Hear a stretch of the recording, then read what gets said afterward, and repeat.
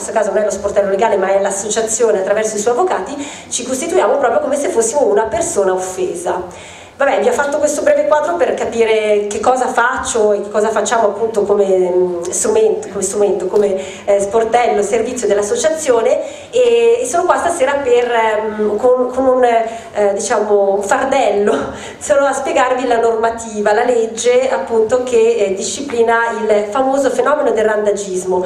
Allora, mh, mm, ovviamente un, eh, per fortuna un incontro aperto a tutti, quindi non utilizzerò dei termini, dei termini noiosi, io dico sempre non uso un linguaggio legalese, cerco dei numeri, ve li ho riportati nelle slide perché vabbè un minimo di professionalità ci vuole, però eh, siamo qua per capire i concetti, che cosa, cosa, prevede la legge. E poi dopo seguirà il mio collega bravissimo Alessandro Piacenza che ribalterà tutto quello che io vi sto dicendo. Cioè la legge è bella, però la realtà è un po' diversa. Allora, passiamo subito alla, al primo argomento. Eh, qual è la fonte principale eh, della normativa proprio riguardo al fenomeno del randagismo. Eh, una legge quadro degli anni 90, eh, legge quadro in materia di animali d'affezione e prevenzione del randagismo. In realtà eh, io la chiamo, cioè noi del settore la chiamiamo legge tutela a quattro zampe, perché questo? Perché andremo a vedere che comunque contiene dei principi molto importanti per la tutela degli animali d'affezione e ehm, la cosa, diciamo il primo primo, il primo principio più importante, scusate perché io ho dei problemi tecnici, adesso voglio vedere se voi vedete ciò che vedo io. Ok, ci siamo, ci siamo. Sì, grazie. Eh, ma non compariva, perché mi hanno fatto le slide troppo tecniche probabilmente, non sono capaci di usarle. Eh, allora, dicevamo, cosa contiene questa legge quadro, quindi questa legge nazionale? Tre principi che io vi ho sintetizzato e che ci interessano per quanto riguarda i cani, perché poi in realtà disciplina anche il fenomeno dei, dei gatti, quindi delle colonie feline. Allora, il primo è il divieto di soppressione di cani, vabbè anche gatti randaggi, eh, salvo il ca caso di grave malattia incurabile o comprovata pericolosità ad opera del veterinario mediante eutanasia. Allora questo è un principio cardine di questa legge perché ehm, in realtà ci sono paesi vicino a noi molto belli, che può essere la Spagna, anche la Croazia, la Slovenia, dove gli animali, i cani, i gatti non reclamati, randaggi purtroppo dopo un certo termine che vengono custoditi nei rifugi vengono eh, soppressi quindi mentre da noi la legge almeno prevede che non possono essere soppressi, in altri paesi a noi molto vicini è normale. E questo è stato un grandissimo traguardo degli anni 90, perché comunque sia, poi come racconterà il mio collega Alessandro, i volontari di, di, di allora, nel lontano 1990, scherzo, andavano comunque a gare ai canili e si trovavano a dover scegliere davvero chi poter salvare o meno dalla morte. Adesso, secondo almeno la normativa, non è così eh, salvo che cosa eh, eventualmente, cioè quando un animale randaggio, un cane o un gatto può essere soppresso, quando ci sia una eh, accertata pericolosità, chiaramente non siamo noi a doverlo decidere ma sono delle, delle persone specializzate dei veterinari e quando sia gravemente incurabile. A questo proposito eh, tengo a sottolineare che esistono purtroppo dei precedenti negativi in tal senso. Per esempio eh, il Tribunale dell'Aquila ha condannato due veterinari pubblici, eh, una condanna che è stata confermata in Cassazione nel 2013, un dirigente della e un suo funzionario perché avevano ehm, deciso di ehm, abbattere insomma con, con l'eutanasia, il termine abbattimento comunque appunto di cagionare la morte, a nove cuccioli eh, tutti sani, eh, probabilmente a detta loro nell'istruttoria processuale perché comunque non c'era posto in canile, non si sapeva dove poter piazzare questi cuccioli, non c'erano adozioni e quindi hanno tra virgolette ben pensato di provvedere in tal senso. I giudici hanno detto no, assolutamente, perché c'è una legge nazionale che comunque tra l'altro anche eh, in campo penale che mh, proprio dispone divieto divieto di uccisione di animali domestici quando appunto non siano, ripeto, o pericolosi o incurabili e nel caso dei cuccioli gli stessi erano assolutamente sani, si poteva provvedere con lo spostamento in un altro rifugio, con le adozioni, insomma in qualche modo si poteva fare ma non sicuramente con l'eutanasia, quindi per farvi capire che ci sono purtroppo anche dei precedenti in tal senso.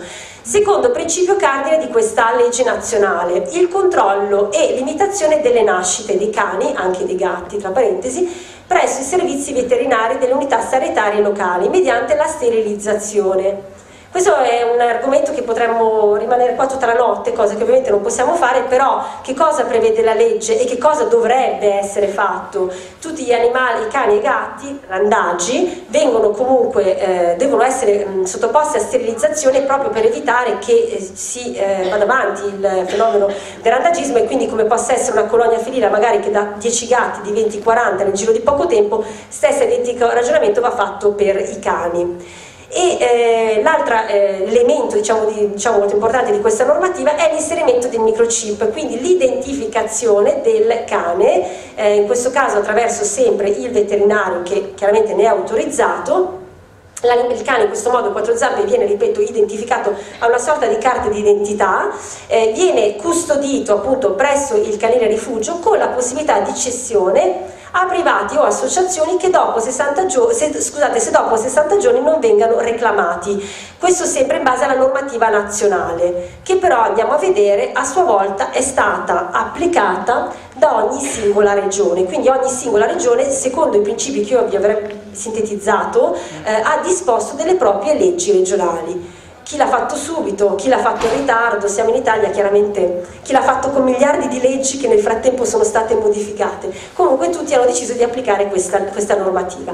Allora vi ho riportato degli esempi eh, la regione Campania, per esempio appunto nel, con la legge del 1990 che è stata modificata negli anni 2000, eh, prevede in tema di randagismo la sterilizzazione degli animali vaganti ad opera sempre del servizio veterinario competente per territorio e prevede anche gli che gli animali non reclamati entro un mese, non so se vi ricordate prima ho detto che la legge quadro, quella nazionale, prevede 60 giorni, cioè dopo 60 giorni che non vengono cercati da nessuno possono essere ceduti o a associazioni o a privati, mentre appunto la regione può derogare in meglio questi principi la Calabria, come altre regioni, ha predisposto che dopo un mese dalla cattura, ovviamente devono essere sottoposti a controlli, cure necessarie e quant'altro, possono essere ceduti gratuitamente a chi ne faccia richiesta, quindi associazioni o eh, privati.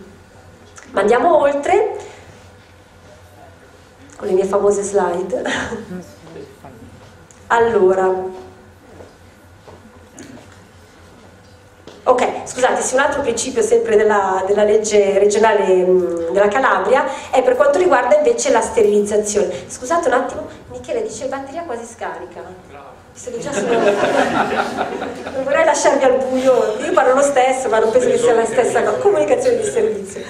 Nel frattempo, per quanto riguarda sempre questa legge regionale, un altro principio che viene, disposizione scusate, che viene prevista è l'obbligo di sterilizzazione degli animali vaganti ad opera, ripeto, sempre del servizio veterinario competente per il territorio e, eh, no, sono trovata la slide di prima e questa qua, ecco, no, volevo, ho sbagliato, scusatemi, ripeto, sono slide troppo tecnologiche. Passiamo alla Sicilia per farvi un altro esempio di regione che ha applicato la normativa nazionale con una propria legge regionale. In questo caso abbiamo un decreto presidenziale del 2007 che ha modificato la normativa di prima e prevede anche in questo caso la sterilizzazione di cani vaganti e dei gatti da parte dei comuni d'intesa con i servizi veterinari pubblici e le associazioni protezionistiche iscritte all'albo regionale, quindi vabbè sono le associazioni iscritte e prevede anche la sterilizzazione gratuita dei cani adottati, ecco questo è molto bello, se richiesta entro 30 giorni dall'affido, cioè magari sono dei cani che sono stati eh, affidati quando sono troppo piccoli, cuccioli, quindi non possono essere sottoposti alla sterilizzazione, però nel momento in cui si adottano e si fa la richiesta, ovviamente trascorso il termine in cui possono essere sterilizzati entro 30 giorni dall'affido, gratuitamente anche il privato può ottenere, eh, può ottenere questo servizio, che non è poco perché comunque la sterilizzazione giustamente se fatta bene è un'attività che fa un veterinario e chiaramente ha dei costi, non incredibili, però comunque mh, insomma, uno giustamente si deve fare due calcoli.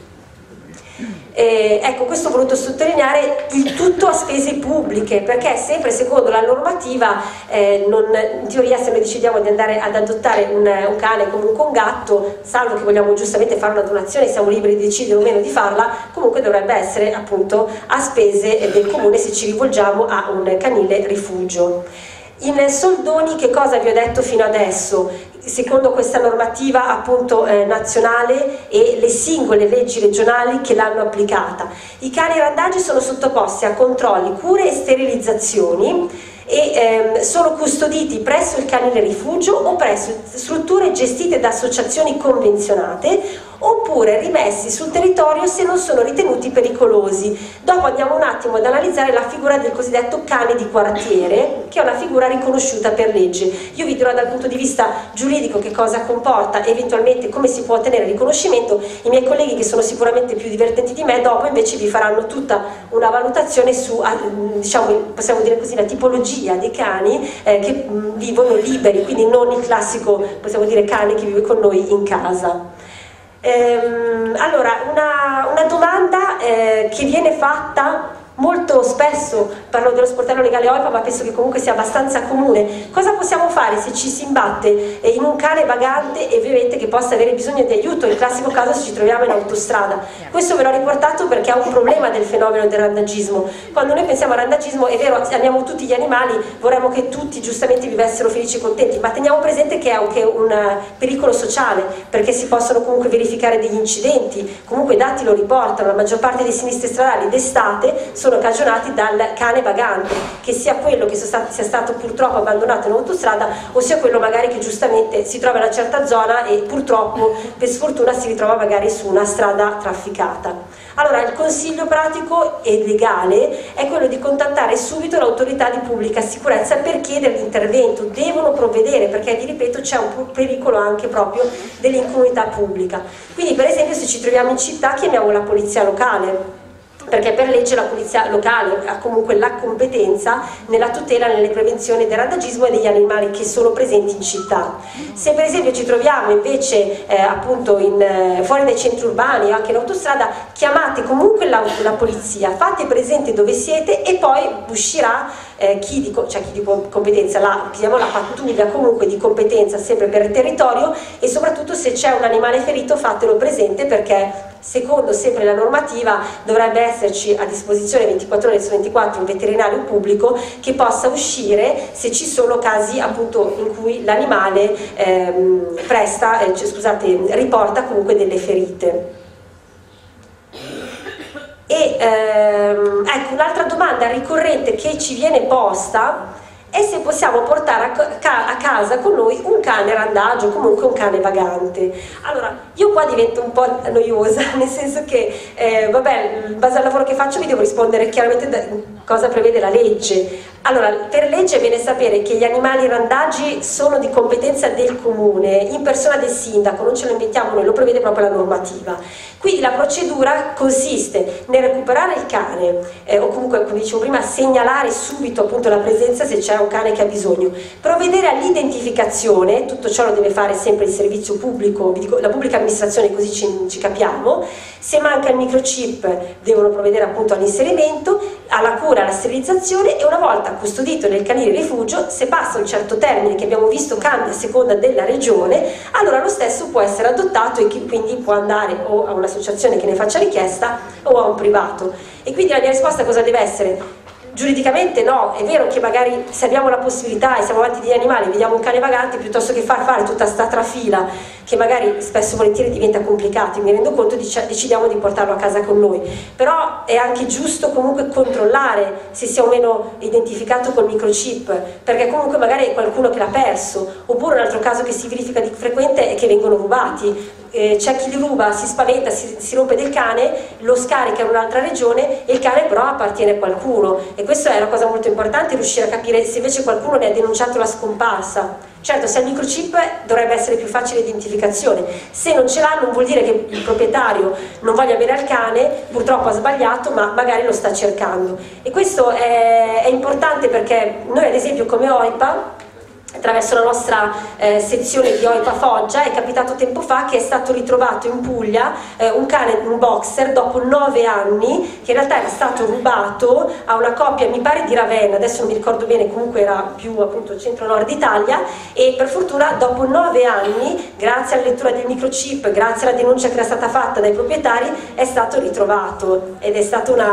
un'esperienza bellissima. Quindi questo vi fa capire che è vero dobbiamo giustamente aiutare, essere, essere utili, però dobbiamo sempre contattare l'autorità pubblica e pretendere, ripeto, un intervento. Allora, mm, passiamo ora invece sempre per quanto riguarda la questione del fenomeno del, del, randagismo, alla responsabilità che ha la pubblica amministrazione per i danni cagionati da randaggi.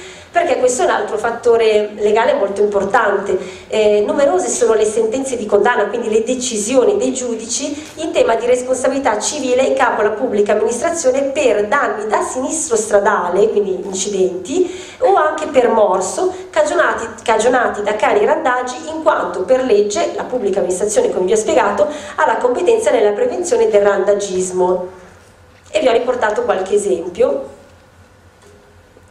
Allora, eh, di recente, quindi parlo di una sentenza più o meno, sì, mi pare, eh sì, 2015 l'ho anche scritto, il Tribunale Civile di L'Aquila, con una sentenza appunto del 2015, ha disposto la responsabilità del Comune insieme all'ASL per i danni cagionati dall'autovettura di un ricorrente, cioè il cittadino che ha deciso poi di andare a fare causa eh, per la collisione su strada eh, con un cane randaggio. In poche parole questa persona era in, con la propria macchina, purtroppo è spuntato il cane da un momento all'altro e eh, ha fatto un incidente e ha riportato dei danni all'autovettura. E quindi ha citato a giudizio, quindi parliamo di una causa civile, il comune e l'ASL e in questo caso è stata appunto disposta sulla base appunto di un ragionamento giuridico che non vi farò mai se no veramente vi addormentate, però comunque in sintesi per quello che abbiamo detto prima c'è una responsabilità e un dovere da parte della pubblica amministrazione di eh, prevenire il fenomeno del randagismo. Nel caso di specie probabilmente il cane si, si, trovava sicuramente in una zona dove non doveva stare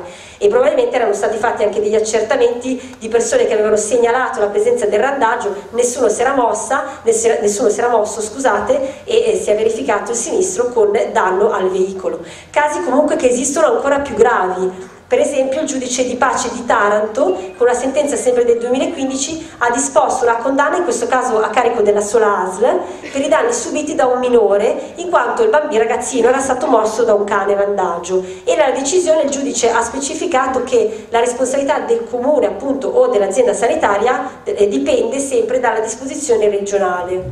In questo caso... Ehm, vi ho citato il caso della Puglia perché la Puglia è una legge regionale che applica la 281 del 91 che vi ho citato prima ma che prevede che per quanto riguarda il fenomeno del randagismo la competenza praticamente esclusiva è dell'azienda sanitaria. E quindi il giudice in questa disposizione ha detto sì c'è responsabilità quindi deve essere risarcito eh, tutti, per tutti i danni subiti il minore in questo caso si era costituito eh, il padre chiaramente in giudizio proprio per, per, perché la normativa regionale prevede che è la ASL che ha autonomia, possiamo dire così, e potere in capo alla mm, prevenzione del, del randagismo.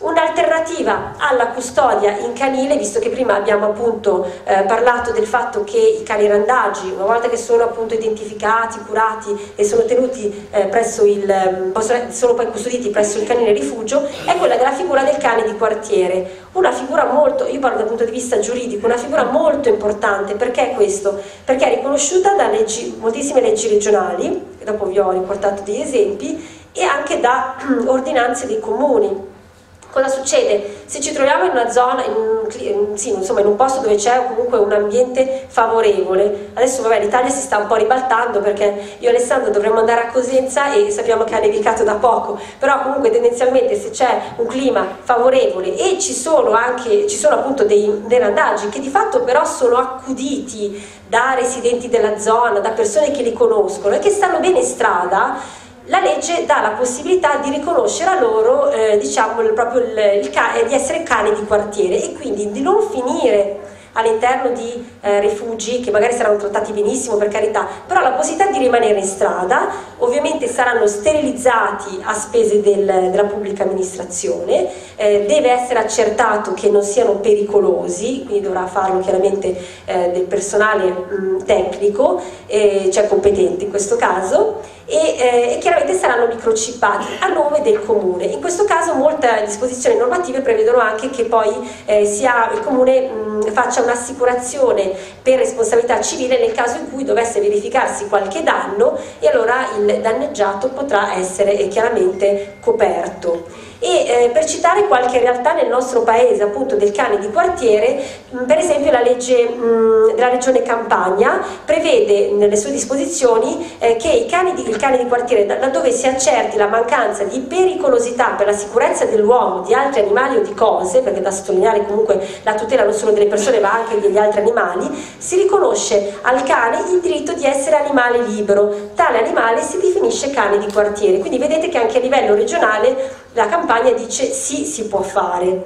Vi ho riportato anche del, un esempio di un comune in, provi in provincia di Latina che prevede proprio nel proprio regolamento eh, per l'affidamento di cani randaggi venuti sul territorio l'istituzione del cane di quartiere la possibilità di riconoscere la presenza di cani liberi e quindi appartenenti a tutti tra virgolette perché poi un tutor o più tutor ci devono comunque essere ovviamente nel rispetto della sicurezza pubblica allora ci capita che alcune persone eh, che ci chiedono, noi viviamo magari in un paese in cui di fatto ci sono dei randaggi, eh, ci troviamo bene, mm, sono bravissimi, sono affezionati a noi, però vogliamo tutelarli. Allora vabbè, io, noi diamo comunque come consiglio sicuramente quello di scrivere al sindaco, non telefonate perché le telefonate finiscono nel, nell'etere. Bisogna sempre scrivere, tartassateli piuttosto anche di mail e richieste, fate valere comunque la possibilità di far riconoscere questa figura, meglio ancora se poi magari parliamo per esempio di volontari volontari abbiamo anche un veterinario eh, che possa sentirsela, magari tanto di fare questa richiesta certificando che ci sono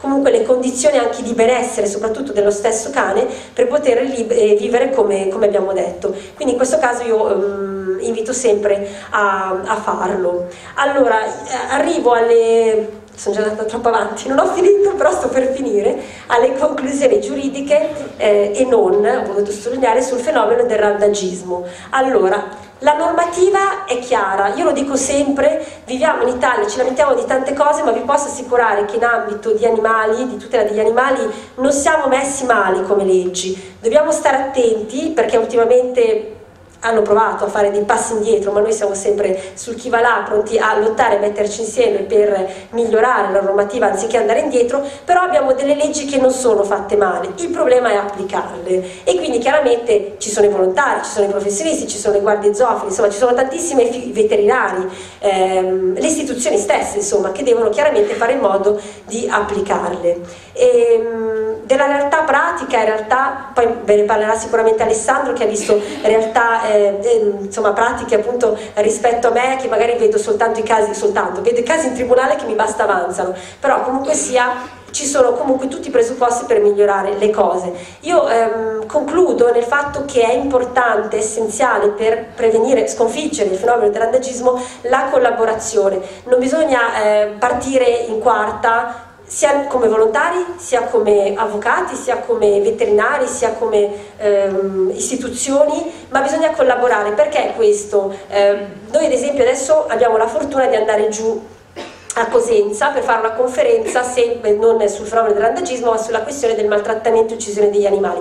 E questa conferenza noi la dedicheremo al caso Angelo che io penso, immagino che conoscete tutti perché è il triste caso che si è verificato a San Gineto la scorsa estate. Un cane randaggio che è stato preso da mh, delle, dei soggetti ed è stato purtroppo barbaramente ucciso e poi a sfregio è stato pubblicato il video online che è stata un po' anche la fortuna perché sono stati beccati in pieno.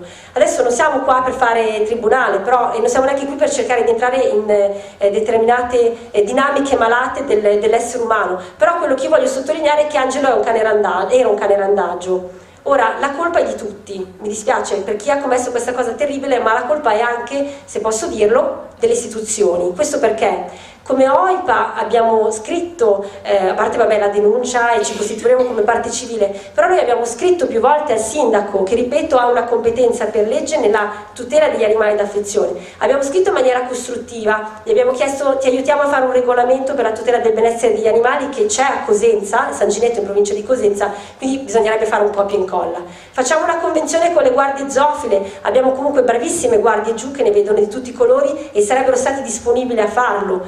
Facciamo la figura del cane di quartiere, va bene, c'è randagismo, ha il canile pieno, vediamo di fare qualcosa, magari di mettere dei volontari che possano controllare i cani e quindi tutelarli. E non abbiamo ricevuto uno straccio di risposta. Io non sono polemica, non mi piace, non lo sono per natura e non porta a nulla, però quello che voglio dire con questo discorso, non finirò mai di dirlo, è che purtroppo in questo caso Angelo, come tanti altri animali maltrattati, uccisi, è vittima non solo della follia umana ma anche dell'inadempimento e delle omissioni delle istituzioni e in parte anche di volontari che sbagliano tantissime cose seppur in buona fede. Quindi io quello che posso, seppur nel mio piccolo essere, raccomandarmi è quello di collaborare e di non essere ottusi proprio per sconfiggere questo tristissimo fenomeno. Spero di non avervi annoiato, grazie.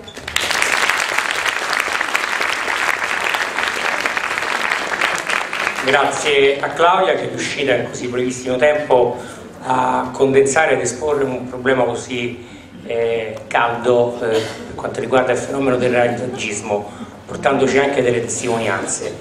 Mm, prima di passare la parola ad Alessandro Piacenza, che è il vice coordinatore nazionale delle guardie esofile dell'OIPA, ma anche responsabile giuridico dell'OIPA Italia, tanto sta, la presentazione è pronta, volevo ricordare a tutti quanti, proprio come ha detto anche Claudia, eh, tutti i volontari dell'OIPA, le guardie zoofile dell'OIPA, stanno operando su tutto il territorio nazionale. Eh, 24 ore su 24 per le varie emergenze, emergenze terremoti, emergenze maltempo, ma anche per le varie problematiche quotidiane che si vengono ad affrontare o che vengono segnalate sia alle sezioni che ai nuclei di guardie.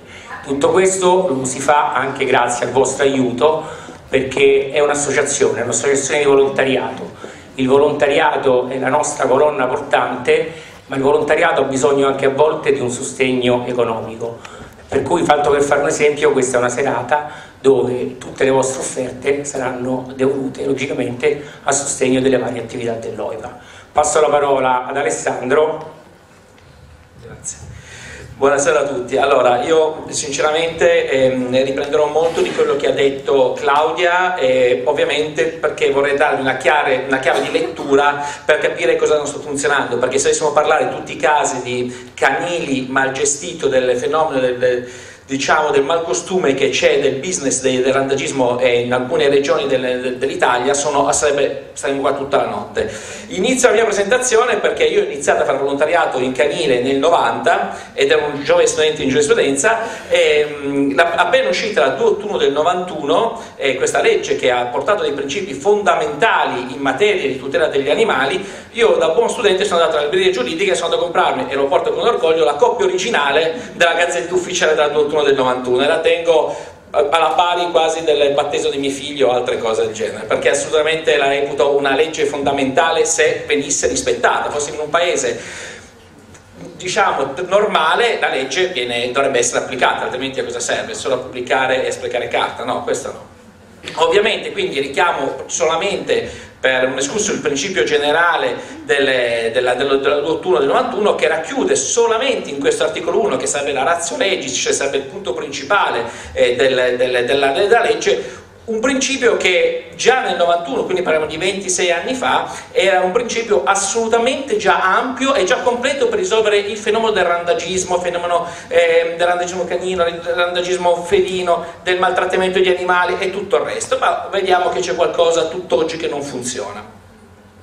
Infatti vediamo che ehm, l'articolo 2, la cosa carina, e qua vorrei darvi appunto, come dicevo io prima, delle chiavi di lettura, vedere quali sono gli enti competenti, che non, enti competenti e le realtà che non permettono poi di far sviluppare questa legge, perché ad esempio si parla anche in questo periodo qua di riformare l'autunno del 91, personalmente ritengo che invece che coprire una legge non applicata con una nuova legge che non verrà applicata, sarebbe meglio magari cercare di far applicare la legge già esistente.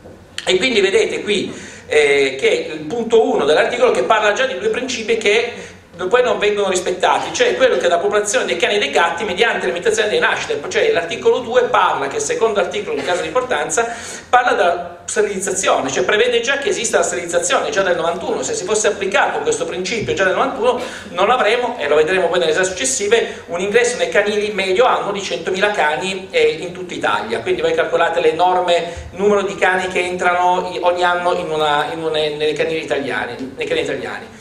Poi vabbè, io l'ho sottolineato in rosso perché, ripeto, io ero volontario in un canile, è ovvio quando è stato introdotto il principio che i cani ritrovati, catturati o comunque ricoverati non possono essere soppressi, per, io non facevo volontariato in un canile e questa è anche un'altra chiave di lettura, in un canile di un rifugio di un'associazione, perché dovete capire che eh, la, prima del 91 la gestione del randagismo eh, aveva un aspetto, non era un business, perché c'era l'istituzione che doveva sanitare, che doveva gestire il, il cane randagio, dopo dieci giorni la soppressione normale, come io arrivo dal Piemonte, in Torino con 365 comuni abbiamo, eh, avevamo un solo canile sanitario, voi calcolate, è un solo canile proprio in tutta, ufficiale comunale, un solo canile in tutta la provincia di Torino fino al 91 E il secondo punto, quindi, e poi c'erano le associazioni animaliste o persone singole che invece per salvare questi cani creavano questi rifugi, a volte forse esagerando, ma principalmente li salvavano. Infatti io facevo volontariato in un canile che andava, e, e purtroppo non è, fortunatamente non arrivo la persona perché ero un giovane volontario, a scegliere quali cani salvare e quali non salvare. Quindi quando è stato introdotto questo principio, per chi è sensibile alla materia della tutela degli animali, capite che è stato come vincere all'otto, veramente è stata una vittoria storica ed epica questo punto di vista qui. E poi vediamo allora cosa prevede ancora, poi molto velocemente non vi faccio una lezione di, di quello che è la legge che la conoscerete sicuramente meglio di me. Prevede un'altra, abbiamo visto, l'articolo 2 che cosa prevede? Prevede la sterilizzazione dei cani e dei gatti. L'articolo 3 è l'istituzione dell'anagrafe canina, quindi se avessimo applicato questi due principi a quest'ora non saremmo qui stasera a parlare di fenomeno del randagismo in alcune regioni dell'Italia considerato come un problema endemico. Quindi calcolate che è, è assurdo questa cosa qui. Ma non solo, poi mm, eh, l'altro punto, poi l'altro punto importante è che prevede l'articolo 4 della legge 2 ottobre 91 con delle modifiche apportate a distanza di anni, quindi nel 2006-2007, che i comuni singoli associati e le comunità montane provvedono prioritariamente ad attuare piani di controllo delle nascite, incluenti attraverso la sterilizzazione. Quindi non solamente già lo prevedeva l'articolo 2, lo prevede ancora anche la competenza dei comuni, quindi eh, si deve capire che in teoria la sterilizzazione dovrebbe essere un, eh, uno strumento fondamentale per contrastare il fenomeno del randagismo. Sempre l'articolo 4, con la modifica sempre delle, delle, di una legge del 2007, prevede che i comuni singoli associati alle comunità montane provvedono a gestire, a, provvedono a gestire i canili e i cattivi sanitari direttamente o tramite convenzione con le associazioni animaliste e zoofile o con soggetti privati che garantiscano la presenza nella struttura di volontari delle associazioni animaliste e zoofile preposte alla gestione dell'adozione e degli affidamenti dei cani e dei gatti. Se voi analizzate nello specifico questo tipo di principio, eh, non si parla di canili, eh, di gestione, eh, di, di, diciamo che i comuni si devono per forza convenzionare con strutture private, ex allevamenti o ex, mh, mm, eh, o, o ex strutture, ex so, pensioni che facciano le funzioni facenti del comune. Perché qua la legge non parla mai assolutamente di derogare la gestione del randagismo ai, ai privati. Cioè, nel senso, al massimo gli dà il proprio canile in convenzione al privato, ma con l'obbligo di far entrare le associazioni. Anche qui è disatteso al 200%. Vi posso dire che abbiamo dei casi, qui l'Italia è unita in questo caso, perché io ho trattato dei casi in Piemonte, eh, in Molise, eh, in, non parliamo in Sicilia piuttosto che in Calabria, piuttosto che in Puglia. Quindi voi calcolate che disattesa e basterebbe prevedere delle sanzioni amministrative, economiche, andiamo a toccare nel portafoglio, non penali perché tanto qui tra, tra condoni e altre cose la gente non va in galera neanche se ammazza una persona, quindi lasciamo perdere questo aspetto qui, andiamo a toccare dal punto di vista economico questo argomento qui, perché sinceramente è assurdo che ci siano delle leggi che vengono, e questa è una classica legge che non viene applicata in nessuno dei suoi articoli, ma non solo, voi dice vabbè è una legge, rimane lì, tu sei un fissato, c'è la gazzettina ufficiale, va tutto bene. Però vediamo che poi nel corso degli anni, la circolare per esempio del Ministero della Salute del, 9, eh, del 10 marzo numero 9, prevede che subito dopo, pochi mesi dall'introduzione della legge della 281, prevede che i problemi maggiormente in evidenza riguardano la limitazione delle nascite, che deve essere favorita e, e ed incentivata per contenere l'espandersi della popolazione dei cani e dei gatti. Cioè il Ministero li dice, manda una circolare, e se vedete quando sono i destinatari di una circolare c'è di tutto proprio, cioè probabilmente c'è di tutto, altri ministeri, le regioni, le province autonome e tutto quanto. E anche questa cosa qua prevede, già nel 92, richiama, richiamando il principio dicono, si prevede altresì la necessità del risanamento dei canili esistenti, e poi, ehm, e poi l'innovazione che, che, la spiega, cioè il Ministero, a me sembrava chiaro, ma il Ministero ha dovuto spiegarlo, l'innovazione consiste nell'obbligo di costruire rifugi per cani. Anche qui vediamo che non c'è nessun richiamo a delegare la gestione del randagismo a strutture private, ma assolutamente deve essere il comune che deve farsi carico in prima persona di o risanare i canili esistenti o di costruire rifugi per cani. Quindi voi calcolate che questo, è, è, se volete facciamo un elenco lunghissimo, cioè, anzi forse sono un po' meno i canini che sono in regola in questa maniera. Ancora nel 2001, a distanza di, di, 20 anni, eh, cioè sì, eh, di, di, cioè, di, 10 anni, vedete che tira fuori ancora. Qual è il problema? Eh, l'eccessiva proliferazione canina determinata dalla riproduzione naturale dei cani liberi e vaganti, incontrollabile e incontrollata, ha notevolmente incrementato il randagismo. Vedete che continua il Ministero a rispiegare che sempre a tutti gli enti, quindi parliamo della regione, arriva fino alla circoscrizione di quartiere a mandare tutte le, queste comunicazioni qui. Ma niente niente da fare. E prevede ancora, e richiama per non essere chiaro, magari uno, siamo in Italia, paese dei legali, paese dei giuristi che interpretano la legge come la vogliono, quindi di conseguenza qui vediamo che cosa? Vediamo che dicono punti rinunciabili, termini anche abbastanza pesanti per chi deve scrivere una cosa del genere, la nave dei cani corrisponde all'esigenza nazionale della massima trasparenza ai fini di consentire l'immediata identificazione di tutti i cani del territorio per esigenze sanitarie e pertanto ad essere realizzata e la sterilizzazione dei cani randagi. Cioè qui continua a essere detto ma ragazzi miei sterilizziamo questi animali, sterilizziamo questi animali e invece questo non succede perché ovviamente come si riempiono i canili? Con, con cucciolate assolutamente mal gestite che poi crescono, sono vaganti, quindi se noi andiamo a monte e alla fonte e sterilizziamo i cani, a questo punto di vista qua va bene. Ma non solo, sempre a circolare del 2001 che ha cominciato a capire dopo dieci anni che c'era un, un problema non solamente di sterilizzazione dei cani randaggi, prevede che cosa? Che la sterilizzazione, guardate mi sono portato anche la video, la sterilizzazione, gli interventi di sterilizzazione vanno stimolati anche relativamente ai cani di proprietà per evitare il proliferare della popolazione canina. Cioè già nel 2001 dice ma facciamo qualche cosa anche per sterilizzare, per sterilizzare i cani delle, dei, delle, delle, dei, privati, perché magari il randagismo vediamo che può essere anche portato, è, è un settore importante per quanto riguarda il fenomeno del randagismo. Poi vabbè, sempre nel 2001, ma qua stiamo leggendo probabilmente circolari e atti amministrativi di un altro Stato, perché vedo che poi non vengono applicati, prevede che cosa? Sempre a circolare 2001 che, ve lo dico qua, leggete sulla parte evidenziata, partendo dal criterio dell'economicità che legittima la scelta della concessione della gestione dei canini da parte dei comuni Ribadisco, gestione dei canili da parte dei comuni, partendo in origine che il canile è comunale, non è una pensione dell'amico dell'amministratore, non è un, un, un allevamento dell'amico dell'amministratore. Parliamo di canili comunali che cosa? Non deve essere valutato unicamente come criterio economico, ma deve essere inteso in riferimento al citato articolo 1, in sostanza l'economicità deve essere riferita non solamente a chi garantisce i minori costi di gestione dei canili, ma soprattutto a chi garantisce anche il benessere degli animali. Cioè, vi rendete conto che il principio del benessere, anche nell'autunno si parla di benessere degli animali comunque, eh, anche per quanto riguarda nei, nei canili. Quindi vedete che da questo punto di vista qui vedete che in teoria il Ministero, eh, le circolari, la legge continua a richiamare questi due principi fondamentali, cioè sterilizzazione, ehm, gestione diretta del, del, canile che può darlo in concessione a, alle associazioni prioritariamente, in secondo può darlo ai privati ma può permettere alle associazioni di entrare e questo non funziona. Parliamo ancora poi dell'accordo Stato-Regione sul benessere degli animali da compagnia del 2003 che prevede la creazione e l'introduzione di microchip, va bene, un'innovazione tecnologica rispetto al tatuaggio, ehm, la creazione della banca dati informatizzata su base regionale e provinciale che garantisca la connessione con quella di cui la lettera C del presente articolo. C'è la connessione con l'anagrafe canina nazionale, ma a tutt'oggi l'anagrafe canina nazionale non esiste, c'è un veterinario o qualcun, un, pubblico ufficiale che ha accesso all'anagrafe canina che re, re, trova un cane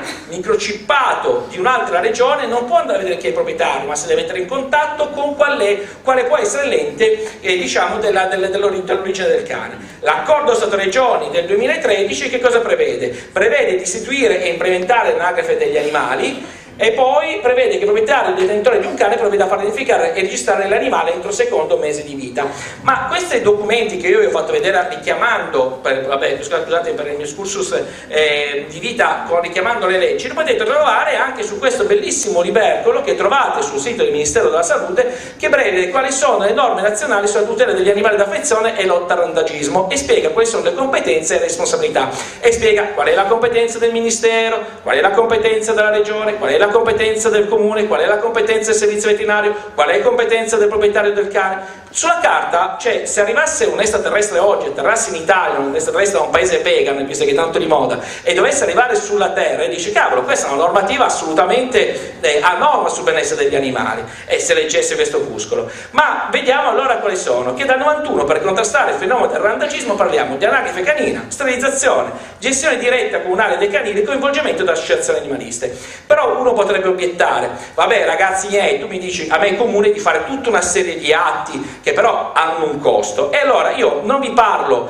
dei finanziamenti che sono stati fatti dal 92, perché sono iniziati subito, fino al 2004, perché sono stati fatti diversi finanziamenti per il sanamento dei canili, vi dico solamente che dal 2005 al 2015, quindi parliamo molti anni dopo dall'approvazione della legge, sono stati stanziati dal Ministero oltre 21 milioni di euro per il sanamento dei canili e microchippature e sterilizzazione.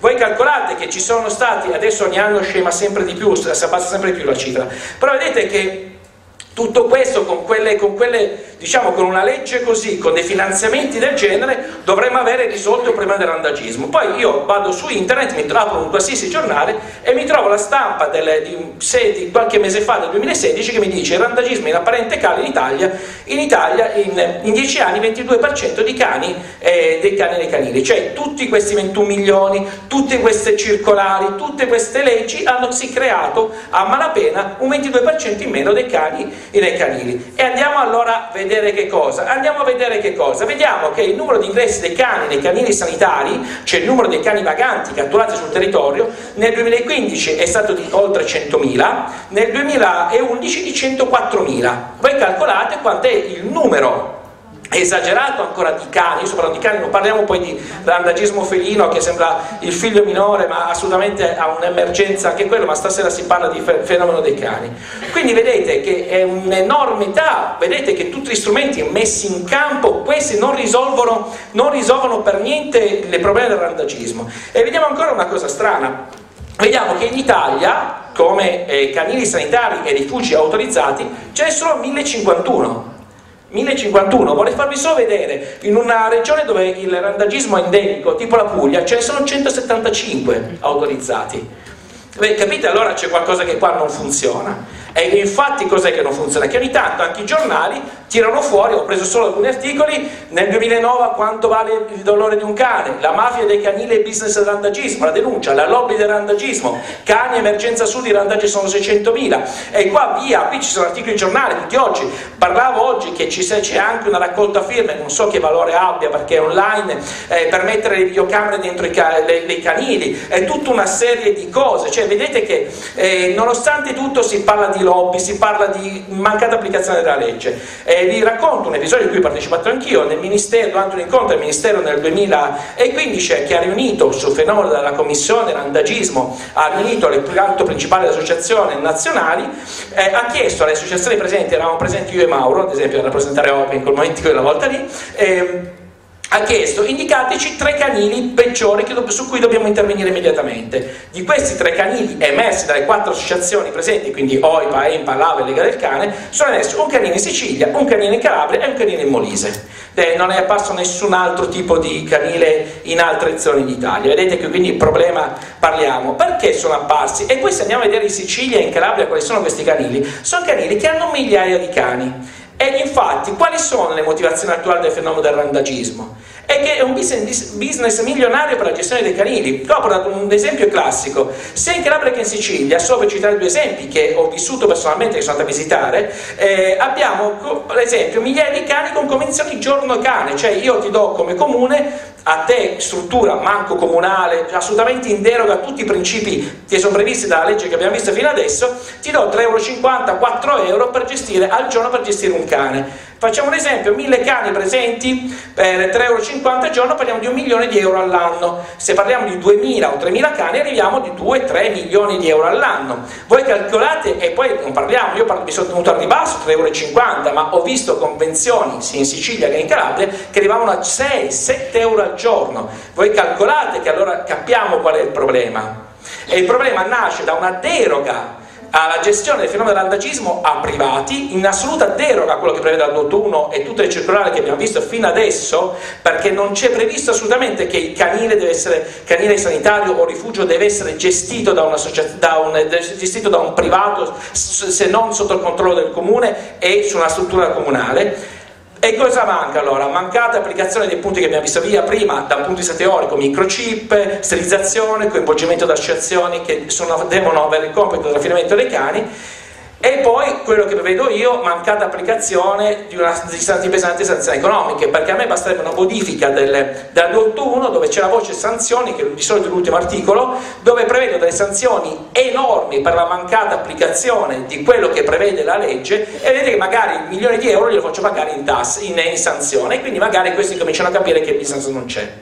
E poi purtroppo a volte manca anche perché a volte sono anche diciamo conniventi mancanza di controlli da parte degli enti pubblici competenti. Perché può capitare che non sempre riescono a scoprire questo tipo di, eh, diciamo, di controlli per tutta una serie di motivi io con questo concludo, le soluzioni eh, esistono già ma non sono applicate e questo è il grosso fenomeno, il problema del randagismo, è la mancata applicazione delle soluzioni che esistono già dal 91 che il legislatore ci aveva già indicato nel 91. Con questo concludo, poi l'aspetto diciamo, dei cani, lascio delle, delle teologie dei cani e del comportamento lascio poi ai relatori che sono dopo. Grazie.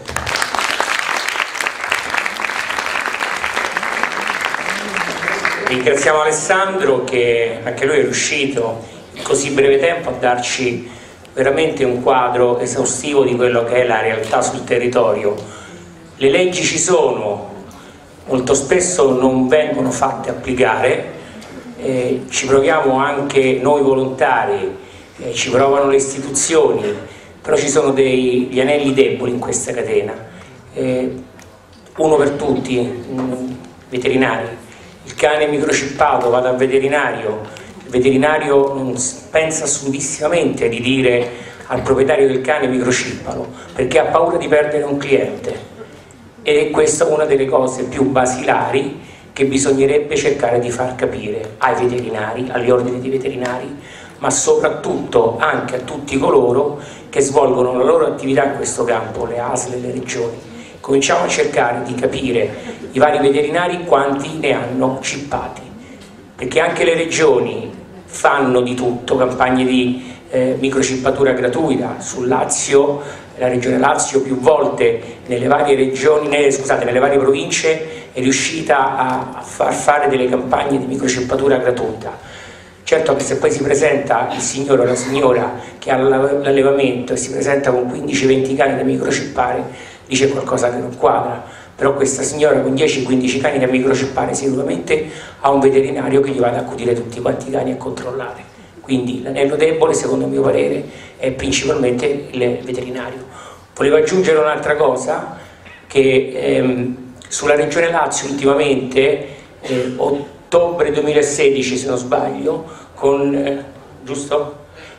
3 ottobre 2016 eh, c'è una DGR 621 che eh, ha cambiato parecchie cose, ha dato delle indicazioni più precise, più puntuali, eh, soprattutto chi è del settore eh, che opera sulla Regione Lazio, un consiglio di leggerselo e di eh, cercare di farlo applicare anche a chi lo deve applicare.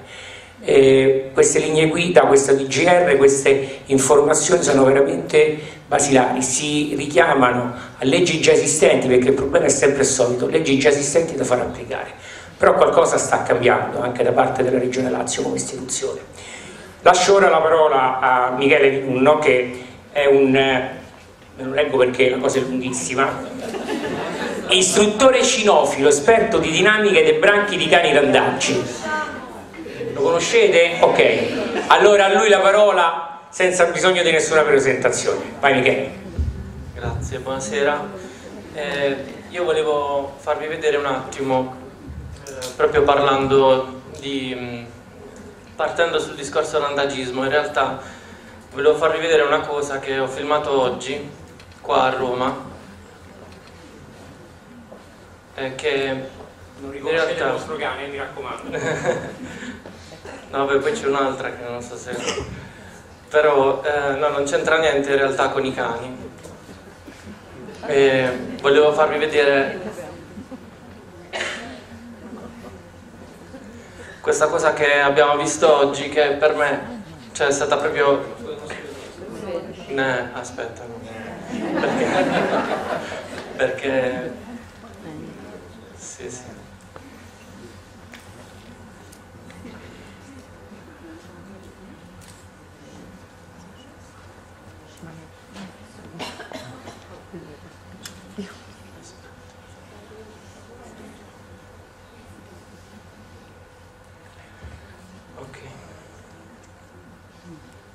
Allora, quello che vedete adesso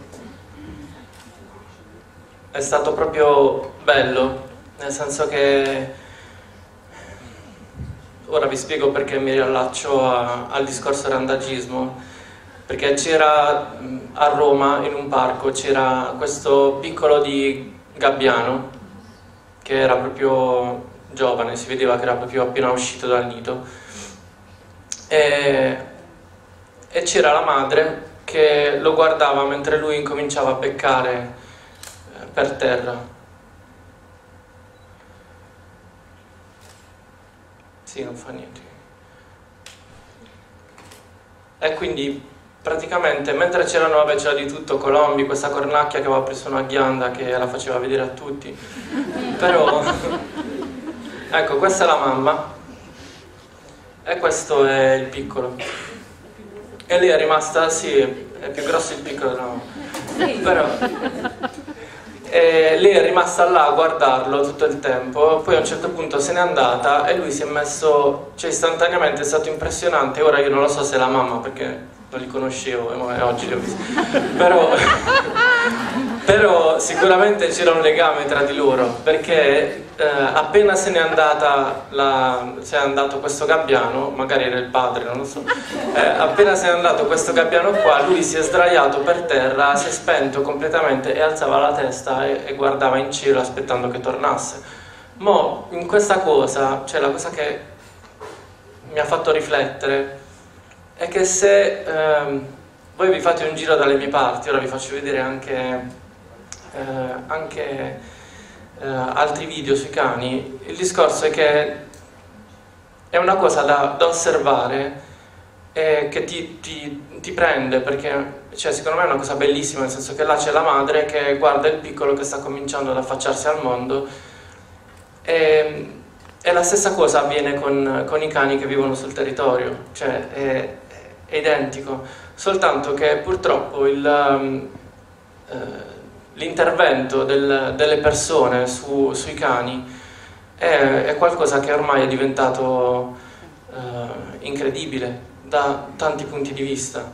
Nel senso che sì, è vero, c'è tutto il discorso eh, della gestione de, del randagismo, è vero tutto il discorso eh, di ehm, assolutamente, sono d'accordissimo sul fatto che, di quanto noi siamo fortunati ad avere una legge in Italia che comunque eh, perlomeno eh, al primo posto rispetto a tutto quello che ehm, eh, diciamo tu, tutti i vantaggi che ci sono secondo me è comunque mantenere eh, la mente delle persone aperta perché il, il discorso è che comunque eh, più vi spostate non so io ho avuto ultimamente l'esperienza in Germania in Polonia ed è stato terribile perché comunque la, la, il controllo che prende l'uomo su eh, qualsiasi cosa che eh, riguarda il discorso naturale è assurdo, nel senso che vedere ehm, eh, cani, i cani sono, sono, sempre stati con noi mm, vicino in, in, nei villaggi, nei paesi, nelle città, soltanto che adesso chiaramente sono diventati un problema, perché io quello che poi volevo chiedere anche, prima della 281 che legge c'era, il regolamento di polizia veterinaria del 54, è, è quando questo regolamento è stato fatto chi ha deciso che i cani randaggi non ci dovevano essere. Sì, perché prevedeva, esatto. Cioè, il discorso è che da un giorno all'altro abbiamo deciso che quella è una cosa da eliminare. Cioè questo è il punto sostanzialmente. Ed è chiaro che ora noi non possiamo più accettare, non possiamo più eh, pensare a, al discorso che ci siano tantissimi randaggi come eh, come poteva essere prima, però la, la gestione del, del, fenomeno randagismo sul territorio è assolutamente una, un qualcosa che eh, si può fare e assolutamente si può fare senza i canili, nel senso che l'obiettivo per me è proprio liberare, svuotare i canili, nel senso che un, un equilibrio sul territorio, come dicevano prima eh, Claudio e Alessandro, il discorso è che comunque ci sono tantissime anche... Eh, tanti strumenti che abbiamo adesso, tipo la, la, sterilizzazione o comunque anche il cane di quartiere, cioè cominciare a, a, mantenere un equilibrio esterno piuttosto che prendere cani e buttarli nei canili, perché tanto è una cosa che non funziona. Perché al di là del discorso dei canili come diceva Alessandro, riconosciuti. Poi il fenomeno più grave, almeno vi parlo per esperienza personale, è che voi trovate sul territorio tantissimi rifugi privati che nascono dal giorno alla notte. Cioè una persona si sveglia e questo è vero sia da un punto di vista dei privati che, come diceva Alessandro, vogliono specularci sopra e prendere soldi, poi c'è anche il discorso associazioni, perché poi c'è un aspetto malato delle associazioni per cui c'è ci sono tantissime derive che possono andare dall'egocentrismo alle manie, manie proprio di eh, ricerca di attenzione o anche di controllo su, eh, su, qualcosa o mancanze affettive. Per cui uno si sveglia la mattina ha una campagna, si alza a 20 box e si riempie quei 20 box di 60 cani. E questi cani non lo sa nessuno che stanno là dentro senza considerare il traffico continuo che c'è di cani dal sud al nord, che è una cosa che non fa altro che liberare delle aree dove i cani in quelle aree ci stanno, ci stanno già, noi li liberiamo e ne arrivano altri. E, e, li continuiamo a liberare e ne arrivano altri e nel tempo quello che è successo è che abbiamo rinchiuso migliaia e migliaia di cani secondo me milioni dentro delle gabbie che faranno una vita che poi eh, vivere da 5 mesi a 15 anni dentro un box senza avere nessuna possibilità, perché poi là dobbiamo andare a vedere anche le possibilità di adozioni sui cani che vengono presi dal territorio e non sono socializzati con le persone, che non troveranno mai adozione. E quindi eh, la responsabilità di chi prende quei cani per salvarli eh, togliere quei cuccioli per salvarli e metterli all'interno di delle gabbie o farli adottare. E poi quei cani, quei cani li trovano, li, ve li ritrovate al nord, eh, Luca lo sa bene, ve li ritrovate nei canili del nord perché, perché, sono cani che non sono socializzati con le persone, non sono adatti a vivere in centro città, a Milano eccetera, vanno a finire nel canile e muoiono, e muoiono là dentro. E non c'è differenza nel canile che c'è a Milano dal canile che, che c'è giù perché comunque anche il discorso che vedete nelle associazioni eh, eh, adozioni soltanto al centro-nord, perché noi giù al sud siamo pezzi di merda, cioè non ho capito, noi non possiamo adottare i cani. Cioè, il discorso è questo, cioè, c'è un, un, continuo movimento perché c'è l'idea, viene passata l'idea che noi, ehm, cioè che al sud tutti i cani stanno male, che tutti i cani hanno bisogno di cure, che tutti i cani sono poverini e vanno salvati, mentre quei cani stanno benissimo. Cioè il discorso è la maggior parte dei cani stanno, che vivono sul territorio e sono in equilibrio sul territorio stanno benissimo. Io voglio farvi vedere, proprio a questo proposito, un video di una madre con dei cuccioli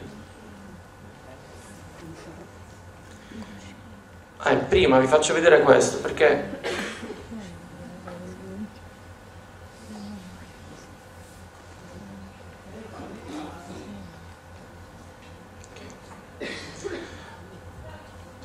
perché quello che vedete in questo video qua, questa è una mamma che ha partorito questi cuccioli e, e il cucciolo qua eh, si sente un attimo, questo è il momento in cui sta nella tana, si sente un po' preoccupato e la chiama. E lei rimane a distanza e guarda la situazione mentre il cucciolo poi alla fine decide di ritornare dentro nella tana. Però voglio farvi vedere proprio un attimo. Ecco questi sono A parte, vabbè, questo era andato un attimo a fare la spesa. e, ehm, quello che voglio farvi vedere, a parte cioè, quanto questi cani non li vedete denutriti, non li vedete in sofferenza, non li vedete che, che stanno male. Eh, il punto è che ci sono tantissimi modi per mantenere un equilibrio con il numero dei cani presenti sul territorio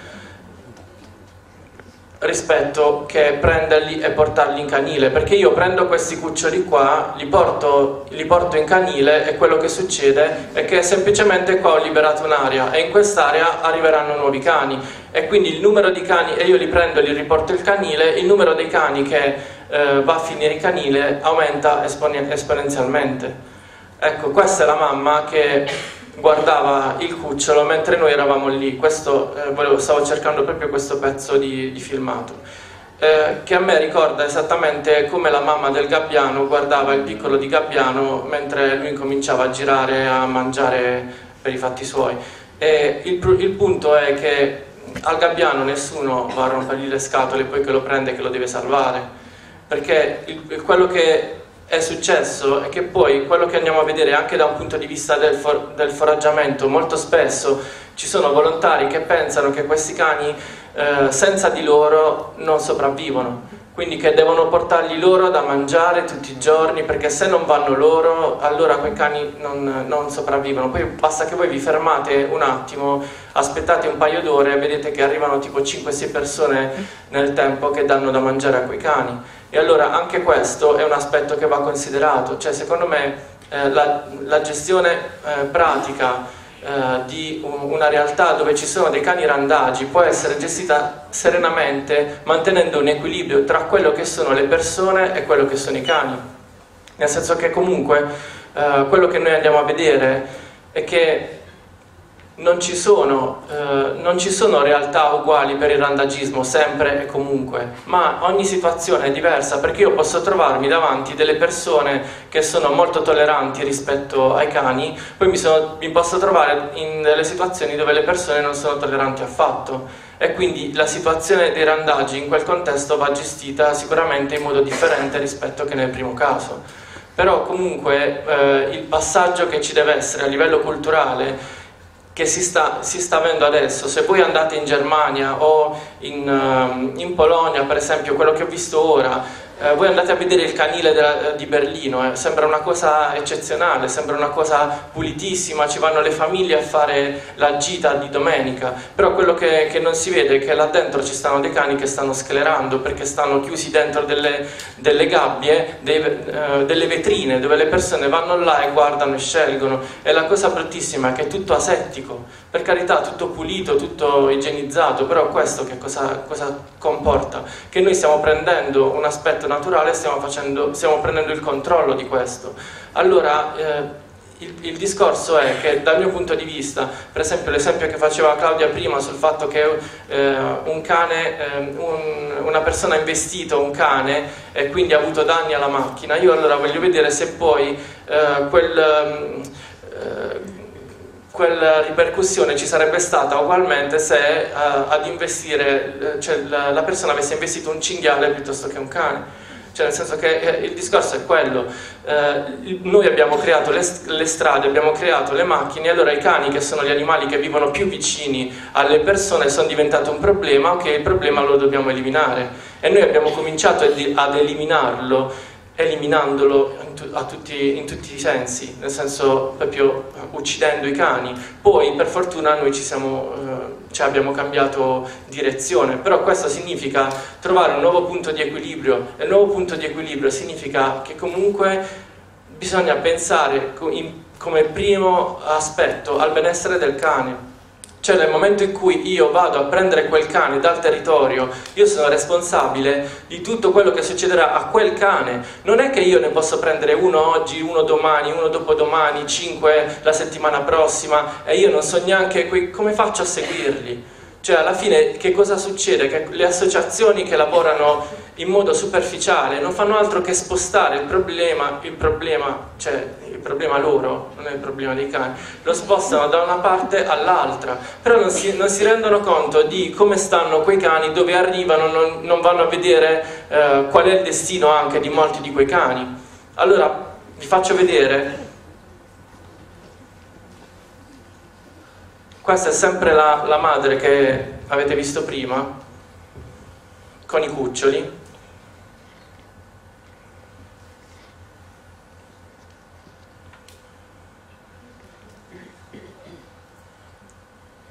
È quello che potete notare che comunque, a parte il fatto che lei adesso sta lasciando i cuccioli, sta dicendo ai cuccioli che non, non gli darà da mangiare, e tutti sono d'accordo, tranne quello nero.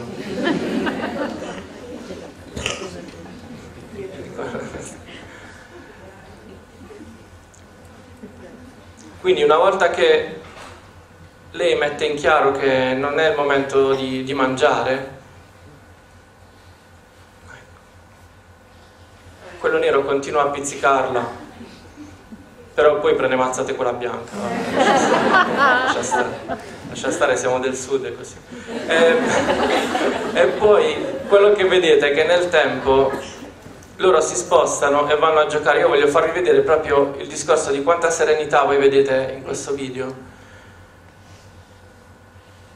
Cioè, prendete in considerazione che questa è proprio una famiglia. E questi sono cani che voi non vedrete, um, non sono socializzati con le persone, ok? Cioè, alla madre voi non vi potete avvicinare, non, non, è, non, è, che ha un problema, cioè non è che è un cane che ha un problema, è un cane che non è socializzato con le persone perché è un cane semiselvatico, poi ci sarebbe un discorso lunghissimo da fare tra cani randaggi, cani semiselvatici o comunque cani non socializzati con le persone.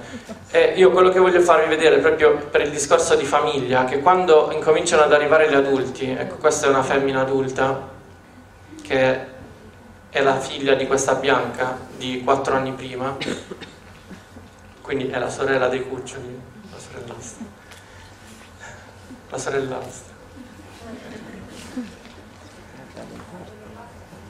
E adesso guardate qua, cioè, eh, per me queste, ora, questi due video che vi faccio vedere in sequenza sono bellissimi perché proprio fatti nello stesso giorno.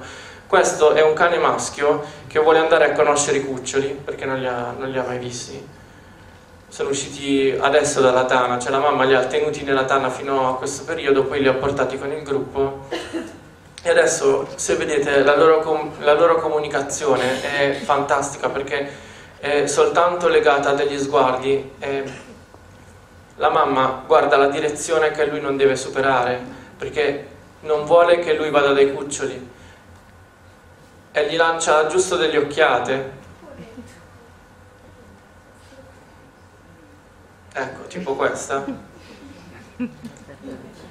E quando lui se ne va, lei si rilassa.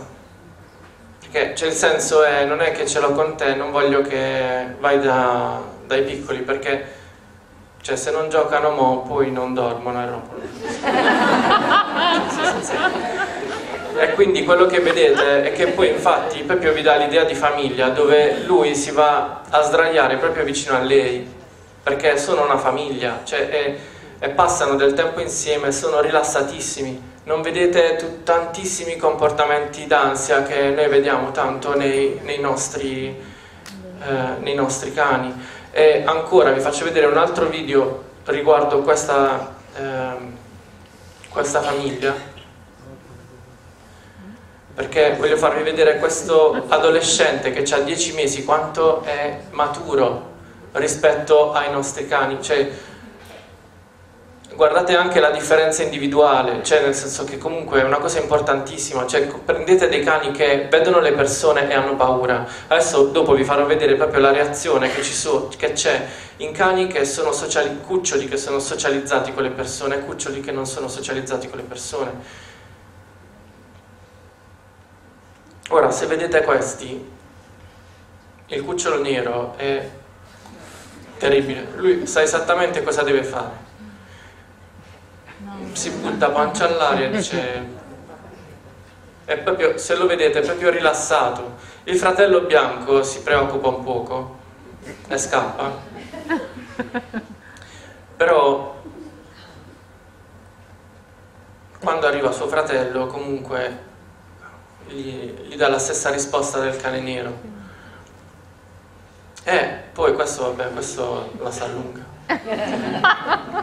Cioè, se vedete, è proprio a suo agio. Cioè, lui sa quali sono le cose da fare per eh, smorzare tutte le tensioni.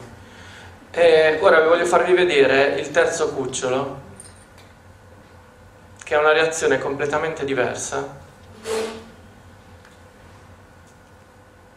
cioè voi potete vedere come stanno, dormono 16 ore al giorno, okay? cioè proprio a dire potessi farlo io.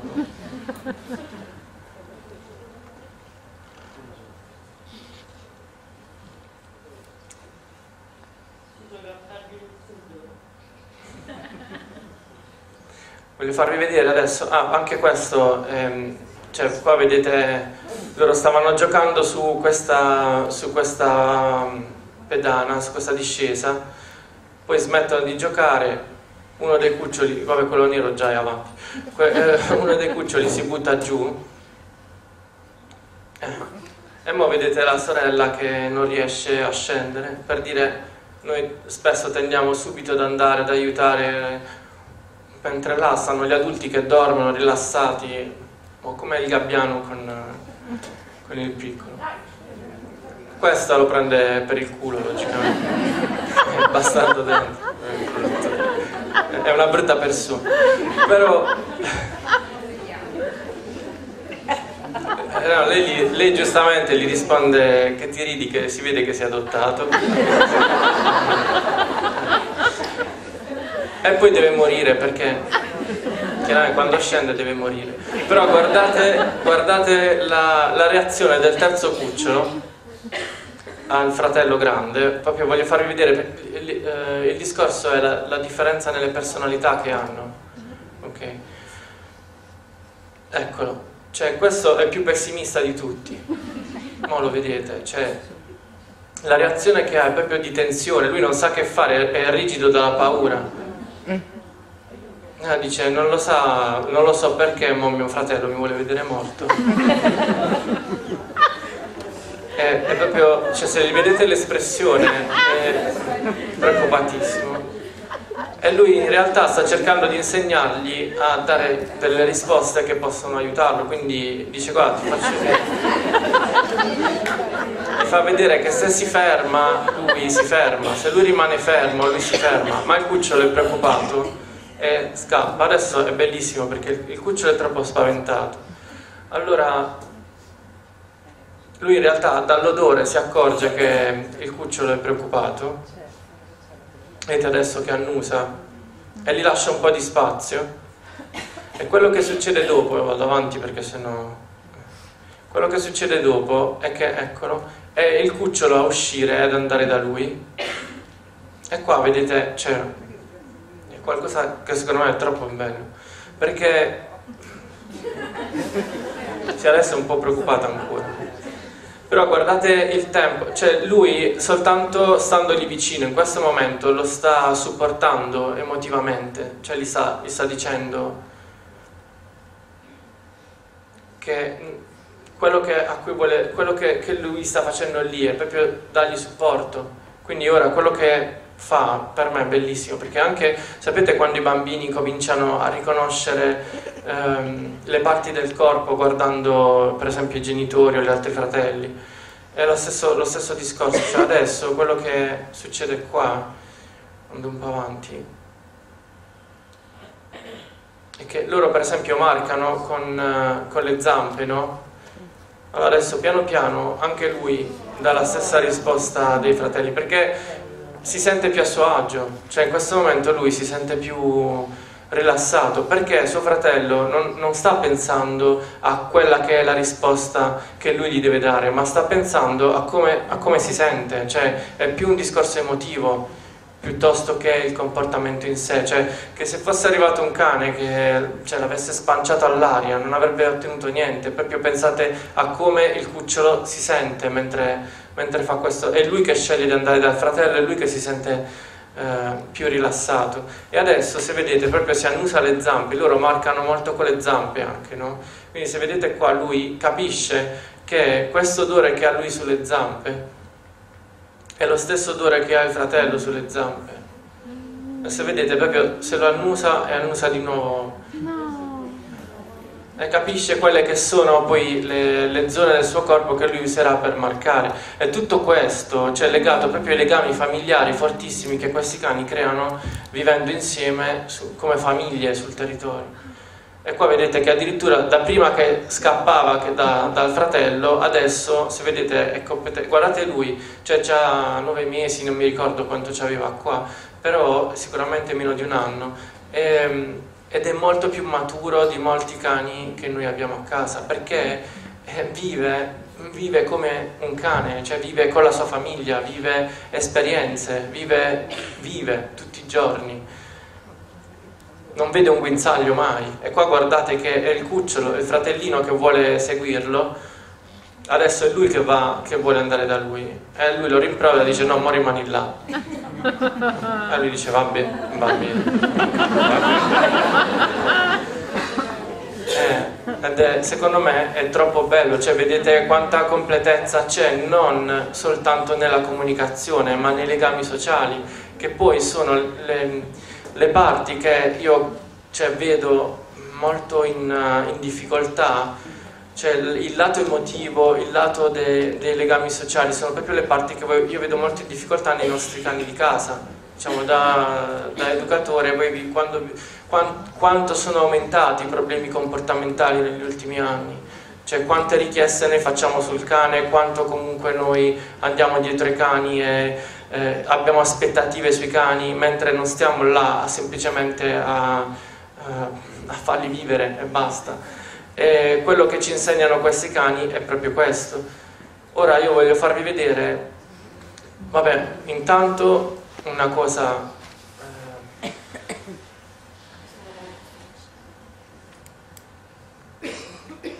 um, un po' di anni fa stavo ancora su Facebook eh, e poi ho trovato questo, questa foto qualche giorno dopo dei video che avete visto prima. Cioè questi sono i cuccioli che stavano sul territorio che sono stati presi da eh, dei volontari che li hanno trovati dispersi da soli lì perché è normale perché la mamma va a cercare cibo poi, poi torna. E io se volete posso farvi vedere proprio tantissimi video dopo che questi cuccioli sono stati là, sono stati presi e vi, posso assicurare che la mamma anche i primi giorni stava proprio nervosissima, li cercava. E quello che voglio farvi vedere sono le espressioni, cioè voi li avete visti con, con la mamma, con la, con la loro famiglia, come erano, guardate qui come sono spaventati, perché noi chiaramente che cosa pensiamo? Che quello di cui loro hanno, hanno bisogno, sono appena stati rapiti dagli alieni, non sono socializzati con le persone, però quello di cui hanno bisogno è mangiare il riso con i croccantini. È quello sicuramente la cosa fondamentale, la, è, è l'ossessione di tutti i volontari, devono mangiare. Cioè, è, non avete idea. E anche un'altra cosa, eh, vedete la differenza delle espressioni del volto tra eh, il cucciolo che è terrorizzato e lei che si fa la foto, vuoi far, vuoi far adottare il cane, babù, ma cioè, che cazzo c'entri tu nella foto? Cioè, questo è, è, il discorso. Perché poi andate a vedere quelle che sono le motivazioni, quelle che sono le motivazioni per cui uno interviene, perché se io voglio intervenire per aiutare il cane, non ho nessun bisogno di far sapere che io sto aiutando quel cane o di far vedere che sono io che sto aiutando quel cane, perché questo è il discorso, perché come è vero che da un lato eh, c'è tutto quel marcio legato alla mafia, a chi si specula e a chi eh, dai canili prende un sacco di profitti, poi c'è l'altro discorso che comunque eh, di tutte quelle persone che eh, agiscono sul volontariato soltanto per fini personali, che comunque il benessere dei cani non lo fanno assolutamente. Quindi è, è un discorso molto complesso. Volevo farvi vedere anche la differenza tra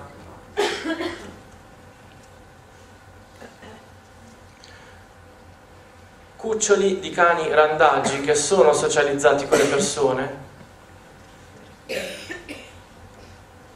e sono questi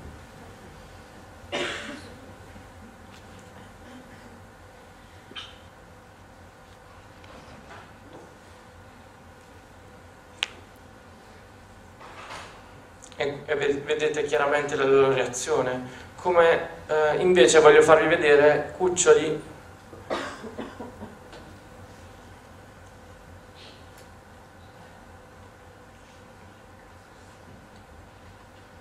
che con le persone non sono socializzati e la loro reazione all'avvicinarsi è completamente diversa.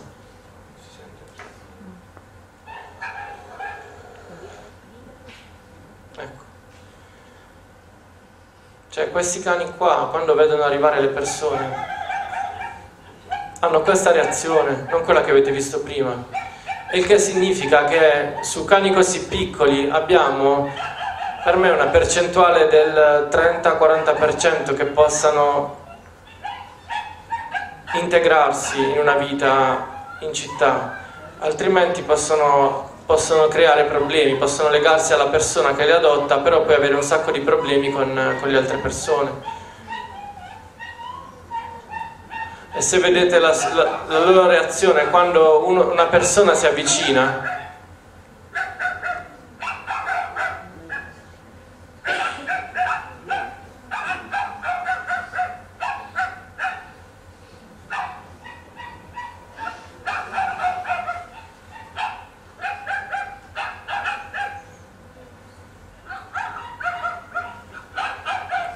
questa.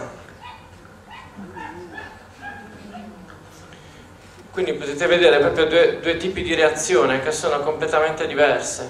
Okay? E se prendete poi uh, dei cuccioli di questo tipo, di 5 mesi, e um, li portate in canile, um, state sicuri che il 99% delle volte passeranno la loro vita dentro un box. E voglio farvi vedere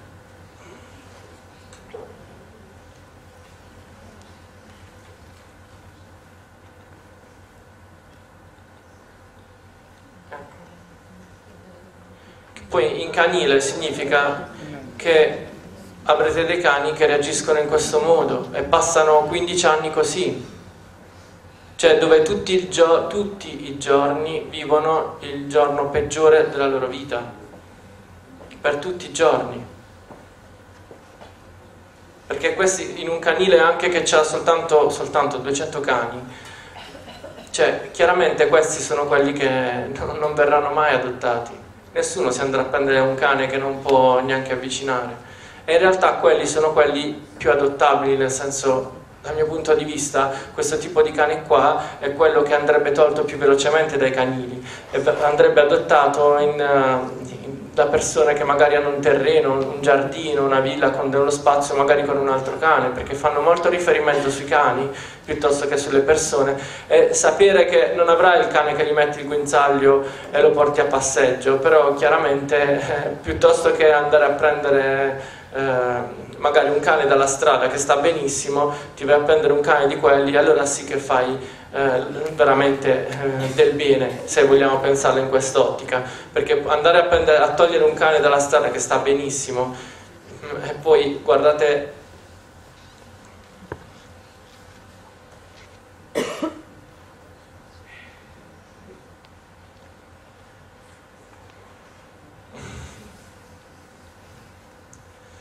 guardate questo video per esempio, cioè questi sono sempre cani che non sono socializzati con le persone, cioè pensate proprio sotto, in questo sottofondo qua, vedete un cane in ogni angolo,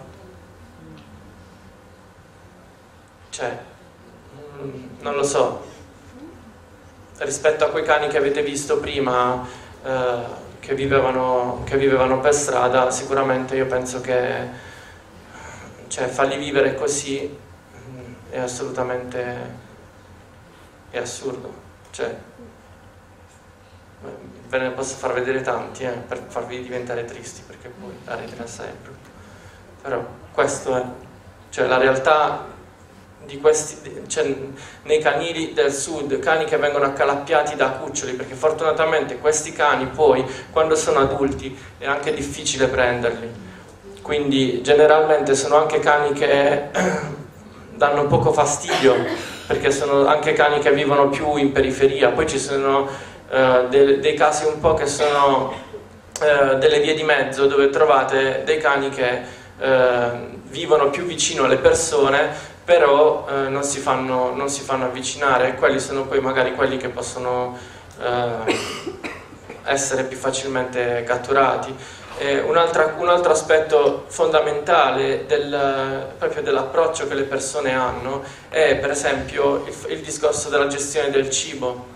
Dare del cibo a dei cani è, cioè, secondo me, delle, uno dei problemi che noi creiamo nel creare disequilibrio eh, all'interno, perché il, il punto è che tra l'uomo e il cane c'è sempre stato equilibrio il disequilibrio l'abbiamo creato noi perché abbiamo cominciato, a parte il discorso della, della, delle società, delle strade, delle macchine e via dicendo, ma anche l'attenzione che noi mettiamo sul cane a, a livelli eccessivi, nel senso che pure il discorso che sembra che eh, um, per alcuni dare da mangiare è diventata una missione, dare, dare da bere, cioè secondo te è un randaggio, se non vai tu a portargli l'acqua non sa dove andare a bere.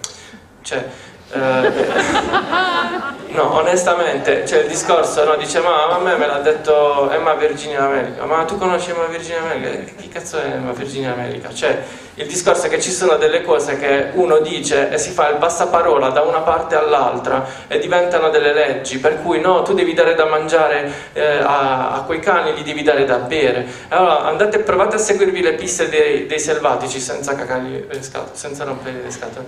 Però andate a vedere, ci sono delle deviazioni bellissime dove per esempio loro, eh, seguendo una, una, un tracciato, arrivano eh, sotto una quercia e sotto quella quercia ci sono delle radici che formano una conca dove è pieno d'acqua. E loro proprio vedete la pista che devia, va su questa quercia e poi ritorna sul tragitto e loro la vanno a bere, cioè comunque ci sono un sacco di pietre, cave, poi da noi in Puglia è tutto terreno eh, carsico, quindi so, è pieno pieno di pietre, cave che raccolgono acqua eccetera, ma al di là di questo comunque dove c'è l'uomo c'è acqua e quindi non è che è, è, la mia necessità di sentirmi necessario per dire che io faccio questa cosa, però questa cosa adesso anche con eh, i social si, eh, ha un, un, riverbero importantissimo perché questo, questa cosa che cosa porta? Porta al fatto che io eh, alla fine faccio vedere che, so, che è veramente un disastro perché io posso scrivere tutto quello che faccio, che faccio capire che c'è bisogno di me, che è una situazione tragica, invece no,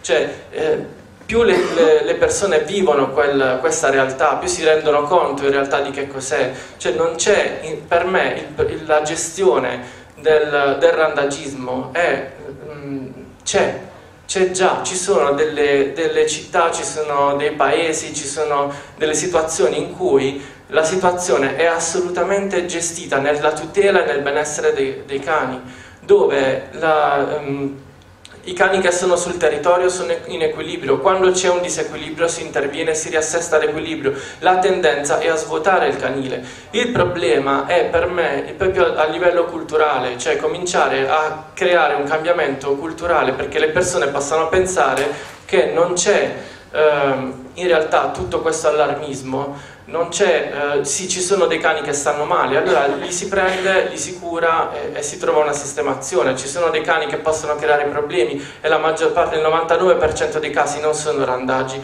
e non sono selvatici, sono in genere cani che sono stati abbandonati perché è diverso un cane che è stato abbandonato da un cane che vive in equilibrio da anni sul territorio o da semiselvatici che stanno da generazioni su quel territorio. I cuccioli che avete visto prima fanno parte di un branco che sta là da prima del 2007, sono più di 15, aspetta, sono eh, tutti questi anni che lo seguo io, che lo vedo io, ma quello stava già da prima. Cioè non lo so da quanto sta quel branco e la cosa bella è che c'è proprio una trasmissione culturale, cioè se voi vedete le piste, i percorsi che questi cani usano, sono gli stessi percorsi che eh, usavano, le stesse piste che usavano nel 2007, cani che adesso non ci stanno più. Cioè, quindi c'è proprio una trasmissione culturale, sono de dei gruppi familiari che vivono serenamente sul territorio. Ora è chiaro che l'equilibrio si può rompere perché c'è, per esempio, un, vi faccio un esempio pratico, ci sono eh, tre cani randaggi che vivono lì, eh, uno di questi cani è un po' più reattivo, allora c'è la, la, signora che va ad abitare eh, proprio in questa strada quei cani stanno là da tre anni e non creano problemi, la signora va ad abitare là, gli dà da mangiare sotto casa, sotto casa sua. questo cane che è più reattivo incomincia ad abbaiare alle persone che si avvicinano alla porta della signora. Ok? Uh, il cane non è un problema, cioè il cane non è aggressivo, è solo reattivo, cioè significa che se voi vi girate e lo guardate negli occhi, il cane se n'è già andato, perché poi questo è anche il discorso, che prima, cioè i nostri nonni sapevano benissimo qual era il cane che poteva essere un problema e quando un cane pure ti poteva abbaiare 10.000 volte ma non era assolutamente un problema. È che adesso noi non siamo più abituati perché siamo abituati soltanto a vedere il cane che va al guinzaglio che gli dici seduto e si siede, a terra si siede poi abbaiato, oh madonna il cane abbaiato cioè, eh, che sono proprio cose cioè, sembra quasi che deve essere tutto è, controllato. Cioè deve essere tutto uguale, tutto prevedibile, non ci dobbiamo mettere in discussione, non, non ci dobbiamo chiedere che cosa il cane sta dicendo, che cosa il cane vuole. Allora se quel cane è più reattivo degli altri e la signora gli va a dare da mangiare là, eh, il cane comincia ad abbaiare contro le persone che passano in quella strada. Il vicino incomincia a lamentarsi perché dice io torno a casa la sera e quel cane mi, mi aggredisce. Va bene? Allora, non è la colpa del vicino che non sa vedere che quel cane non fa niente perché il problema è che adesso è uh, un equilibrio diverso rispetto a 50 anni fa, 60 anni fa, che dobbiamo aiutare a mantenere per tutelare questi cani. Allora quello che succede è che tu dici alla signora, non ti dico non gli dare da mangiare, ma non gli dare da mangiare qua, dagli da mangiare 100 metri più giù che c'è la campagna. E il cane si ferma là, perché tanto se tu vuoi che questo cane stia bene, e ti dico che quel cane problemi non te ne crea, non crea problemi a nessuno se gli sposti semplicemente la ciotola da qua a 100 metri più avanti. Il punto è che alla signora gli fa troppo piacere il fatto che il cane va vicino a lei, che la saluta, che la difende da, da, dalle altre persone per far vedere che lei è amica degli animali e gli altri sono i cattivi. Allora se tu vai a parlare con queste persone, il, il, la persona che... Eh, dice il cane mi ha aggredito, tu gli puoi far vedere pure, guarda che il cane non è aggressivo, dice a me non mi interessa, cioè io ho paura la sera ed è giusto, è legittimo. Il punto è che dici va bene, ma se il cane si sposta là e non ti abbaia più la sera, eh, a te ci sono problemi che rimane qua il cane piuttosto che lo portiamo in canile. E la persona ti dice, va bene, no, se il cane si sposta là non c'è problema, ma la signora continua a dargli da mangiare là e continua a dargli da mangiare là e la, eh, il cane continua a reagire su quella persona, quindi viene chiamata là, viene fatta la denuncia, chiamata là, il cane va a finire in canile. E il cane va a finire in canile, la signora non si, non si, fa vedere più in canile, non è che viene, si prende il cane e lo fa uscire dal canile. Quindi quel cane che poi magari non trova più adozione, che poteva vivere serenamente per stare, non dava fastidio a nessuno, si ritrova a vivere dieci anni di canile perché la signora voleva fare l'amica degli animali, ma per me è più amico degli animali quello che ha fatto la denuncia perché quello almeno nel momento in cui l'ha segnalato quel cane era disposto ad un compromesso per mantenere l'equilibrio. Questo è il discorso, è per questo che dico ogni volta che noi ci troviamo in una situazione in cui eh, bisogna intervenire sul discorso del randagio, è una questione che varia da uh, situazione a situazione ed è sempre diversa, è sempre differente.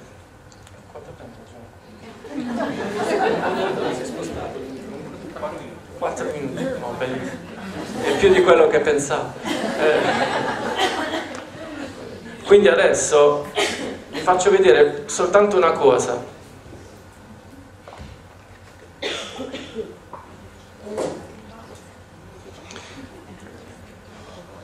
Voglio farvi vedere adesso una cagna che era randagia, che è stata presa e... Um, curata perché allora questo cane onestamente ehm, l'ho preso io dalla strada perché stava male e il giorno che l'ho preso è stato proprio brutto perché il cane chiaramente non, non era selvatico, eh, non, non, è un cane selvatico, è un cane randagio, però non si fida delle persone, quindi non si faceva avvicinare. E proprio, gli ho proprio teso un tranello, nel senso che vabbè, il cane aveva le, le e quindi quando l'abbiamo preso io sono uscito da dietro la macchina, l'ho braccato, non la, lei non se l'aspettava. Nel momento in cui l'ho presa lei si è spaventata ma di brutto, la cosa più brutta è che là di fronte c'era suo marito il suo compagno, che la guardava ed era proprio, uh, era bruttissimo perché era uno sguardo impotente, cioè, era il tradire proprio, io cioè, non posso fare niente. E quando è stata portata in canile, poi è stata curata, io voglio farvi vedere il giorno che è stata liberata. Eccola. Guardate quando si saluta col marito. È il marito che dice ma bellissimo, eh, si salutano, però lei dice mo ce ne dobbiamo andare da qua. Sì, ciao, ciao, l'amore, tutto quello che vuoi, ma mo ce ne dobbiamo andare. Cioè, discorso è che, esatto, quello che vedete, che proprio eh, alcuni volontari pensano, vabbè ma è stata male, ma teniamo, teniamola in canile, cioè la teniamo protetta al caldo, la teniamo con le coperte, gli diamo da mangiare. Eh, e non è un cane che è anziana, sì, ha vissuto, però ha vissuto tanti, anche un'altra cosa, cioè molto spesso si pensa che i cani vivono pochissimo da randaggi, cioè eh, l'anno scorso è stata soppressa una cagna che aveva 20 anni, cioè comunque vi assicuro che la media dei cani che vivono sul territorio è altissima, perché cioè, i cani sono fatti per quello, cioè per vivere nei villaggi, quindi il discorso è che adesso io quello che voglio farvi vedere in questo piccolo video, quello che vedete è che proprio in realtà Desi non è che si gira perché eh, dice io voglio tornare con voi, viene che vuole... No, dice questa è casa mia, finalmente mi avete riportato e se ne va. Cioè lei è contenta perché quella è la sua vita. Allora quello che volevo dire e concludere è nel momento in cui eh, noi pensiamo attraverso il nostro modo di pensare umano che stiamo facendo una cosa che fa bene al cane, una cosa che fa bene, eh, stiamo, stiamo entrando in realtà a prendere una decisione forte su qualcosa che non ci compete. La, la, almeno la cosa che dovremmo fare è chiederci a parte sto facendo la cosa giusta, ma soprattutto chiedere, chiederci chiedere al cane se è quello che lui sceglierebbe per se stesso, perché molto spesso l'azione del volontario è andare a testa bassa e prendere e, e decidere già, sapere già ancora prima che cosa, cosa, è giusto, cosa è sbagliato, ma la cosa che non, non si fa è guardare un attimo negli occhi quel cane e chiedere tu che cosa vuoi, quale sarebbe stata la tua scelta in questa situazione. E con questo concludo e vi ringrazio.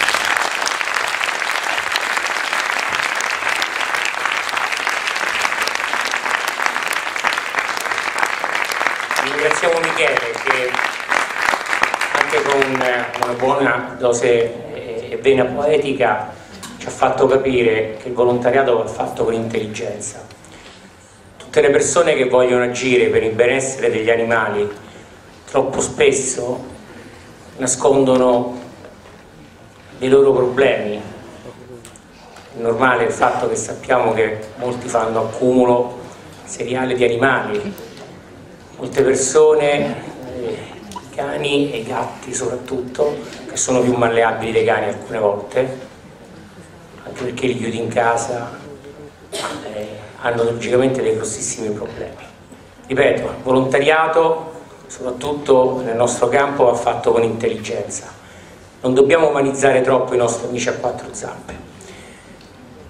Passo ora la parola a Luca Spennacchio che nel frattempo sta cercando di far funzionare i suoi potenti mezzi tecnologici, istruttore cinofilo e anche autore del libro Canile 3.0. Te la parola Luca. Grazie, io eh, devo stare in piedi perché la mamma mi ha fatto basso, no, perché proprio non riesco a parlare seduto è una roba che guido seduto, faccio un sacco di cose, ma viaggio in treno, sì. ma devo stare in piedi quando, quando parlo.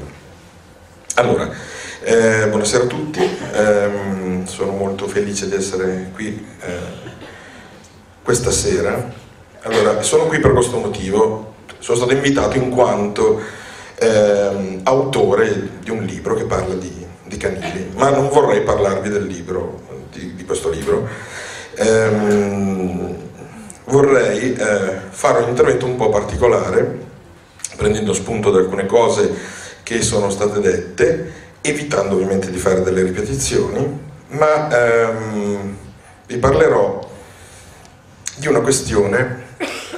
Allora, intanto ehm, la, la, realtà che, che, è stata descritta, di cui stiamo parlando questa sera, è molto diversa dalla, dalla realtà che ehm, esiste nella zona nella quale vivo io. Io vivo tra Bergamo e Milano, eh, dove i, i cani sul territorio non esistono. Non perché la gente non abbandoni i cani, soltanto che li porta direttamente in canile. Ora, io mh, riallacciandomi a quanto ha detto Michele all'inizio della presentazione, ehm, ho scritto proprio nel libro, c'è cioè nella quarta di copertina, che se adesso la trovo ve la faccio vedere, che in teoria dovrei fare così, che non lo leggerete mai, eh, ok sì, è una frase che mi è venuta così eh, molti anni fa al primo verso Parco Canile, che era una conferenza che facevo, che abbiamo fatto anche insieme nel 2012 io, io e Michele, sui, sul randagismo, ma soprattutto sul, nel mio caso sulla gestione e sul lavoro del canile. E questa frase dice che il canile che sogno è il canile che non ha la necessità di esistere, ma questo canile esiste in un mondo che non c'è il nostro compito è quello di costruire quel mondo partendo proprio dal canile che oggi c'è. Nel senso, il discorso è questo. Eh, potete fare il canile più bello del mondo. Rose, fiori, eh, fatto con tutti i finanziamenti milionari che vi possono all'improvviso dare. Eh, molto probabilmente questa cosa comunque non intaccherà minimamente il problema del randagismo, dell'abbandono, eccetera e soprattutto sarà molto difficile che renderà veramente felici dei cani. Il cane è un animale che ha certe caratteristiche, è un animale che vive con l'uomo, intorno all'uomo da parecchie migliaia di anni, ancora qua si sta studiando per capire bene da quando e dove, eccetera, ed è un animale che ehm, ha caratteristiche etologiche che, come avete visto, lo rendono atto, cioè l'evoluzione, la storia evolutiva di questa specie lo rende capace di vivere con o senza l'uomo. Ovviamente essendo animali che hanno avuto una storia molto lunga con l'uomo, hanno in maniera unica sul pianeta rispetto a tutti gli altri animali delle caratteristiche che nel momento in cui hanno la possibilità di conoscere l'uomo in fasi particolarmente sensibili sono in grado di considerare l'uomo parte della sua famiglia. Avete visto l'esempio di due cucciolate dove eh, sono avvenuti procedimenti differenti. Una cucciolata in cui l'uomo non è conosciuto, quindi si dice in termine tecnico che i soggetti non sono socializzati all'uomo, e, queste, e le reazioni di paura dovete capire che non sono reazioni, mh, sono reazioni che partono da dentro. E mentre i cuccioli socializzati che eh, accettano anche la vicinanza nelle dovute maniere dell'uomo.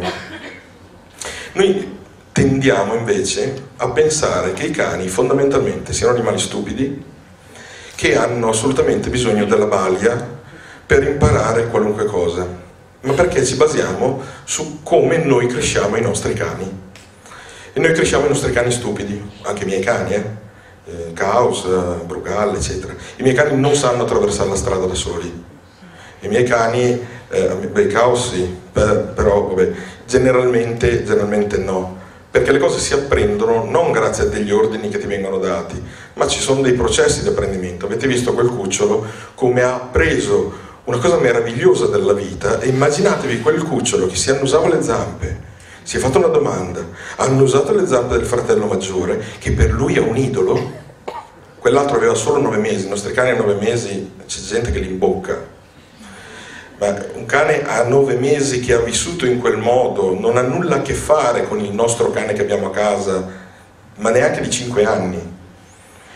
E quel cucciolo si annusa le zampe, scopre quell'odore anche nell'altro cane, nel fratello che è il suo idolo, nella sua piccola tana lui c'ha il poster del fratello, con, con l'impronta, perché gli adulti per i piccoli sono dei miti, come lo sono per noi quando siamo piccoli, il nostro padre, la nostra madre, eh, li guardiamo, li osserviamo, li imitiamo, quante volte le bambine si vestono, da, si mettono le scarpe, si truccano, vengono fuori dei pasticci incredibili. I bambini maschietti rischiano di tagliarsi la gola con la lametta da barba perché vedono papà che fa la barba. Eh l'apprendimento ha dei processi, richiede delle esperienze, delle condizioni perché avvengano, ci vogliono dei tempi, ma tutte queste cose ogni specie le ha proprie, altrimenti non ci sarebbe oggi. Ora, qui il punto è, secondo me, e non voglio, tiro sulla mano che mi dà fastidio, eh, tediarmi troppo, però il punto è onestamente, serenamente, eh, abbiamo visto che la questione randagismo e canili è estremamente articolata e problematica. Eh, ci sono le leggi ma non vengono fatte rispettare, eh, da una legge buona vengono fuori mille possibilità di lucrare e di speculare sulla vita degli altri. Eh, brave persone che impazziscono di dolore perché vivere in certe condizioni è veramente intollerabile, dove si vede, dove si vede il maltrattamento esplicito e condiviso addirittura da chi ti sta vicino e tu non riesci a sopportarlo perché anche tu hai un animo. Io sono stato in alcuni posti dove, devi guidare a due all'ora perché a ogni tre metri potrebbe finirti un cane sotto la macchina, ma quei cani sono quei cani, che cani sono quelli? Quelli che fino a ieri hanno vissuto legati a una catena, chiusi su un balcone o anche in un appartamento e poi presi e messi in mezzo alla strada, non sanno sopravvivere, non...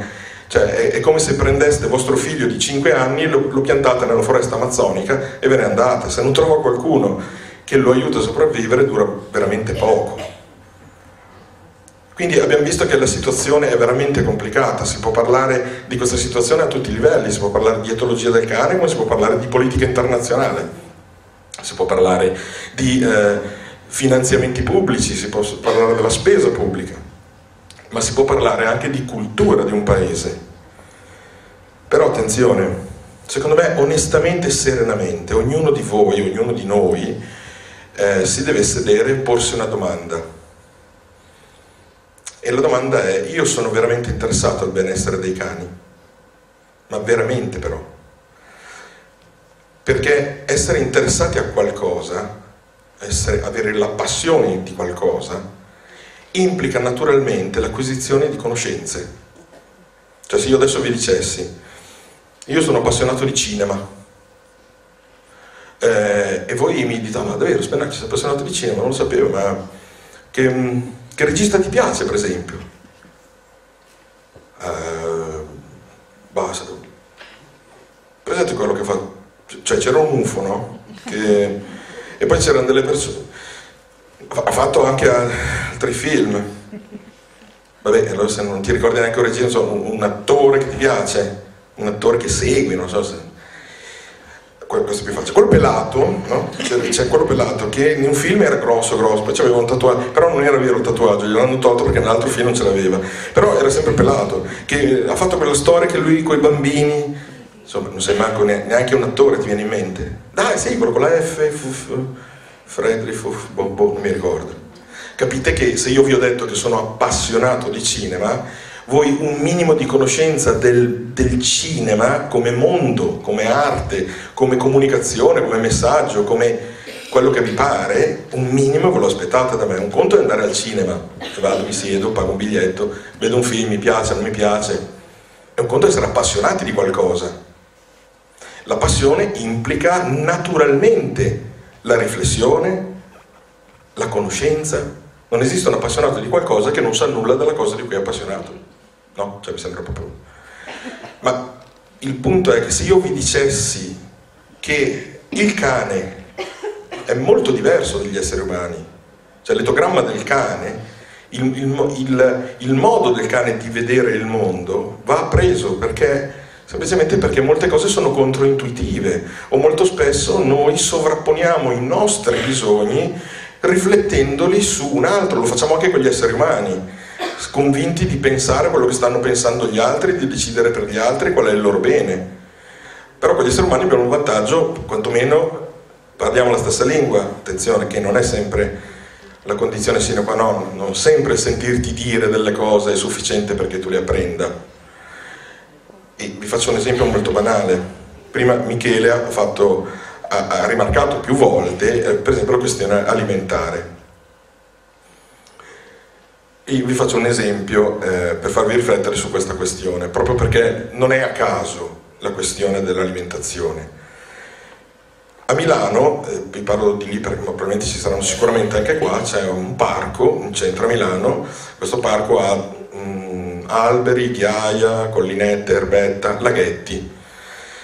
Nei laghetti ci sono solitamente paperelle, mm, trote, pesci, insomma di tutti i tipi, adesso le carpe koi tutte colorate, insomma ci sono animali di, di, di diverse specie e c'è sempre un cartello. Cosa c'è scritto sul cartello? Non dare da mangiare agli animali. Perché c'è un cartello in mezzo a un parco che dice non date da mangiare agli animali? Perché probabilmente invece okay, cioè, è necessario mettere un cartello che vieti un comportamento perché altrimenti Homo sapiens sapiens, quando è davanti a un'altra specie animale, la prima roba che gli passa per la testa è di dargli da mangiare. È un impulso molto forte, ci sono delle ragioni perché è così. Ragioni, una delle ragioni evidenziate per il fatto che noi siamo mammiferi, ovviamente sapete anche voi che siamo mammiferi, ma siamo mammiferi un po' particolari. I nostri cuccioli nascono particolarmente inetti. Cioè, cosa significa? Che i nostri cuccioli, i nostri piccoli bambini, hanno bisogno di un tempo lunghissimo nel quale avere tutte le cure parentali possibili e immaginabili per diventare adulti. La fitness per gli esseri umani è raggiungere, far raggiungere alla tua prole almeno i 12-13 anni, dove diventano potenzialmente riproduttivi. Lì non servi più, in teoria, cioè quando arrivi lì.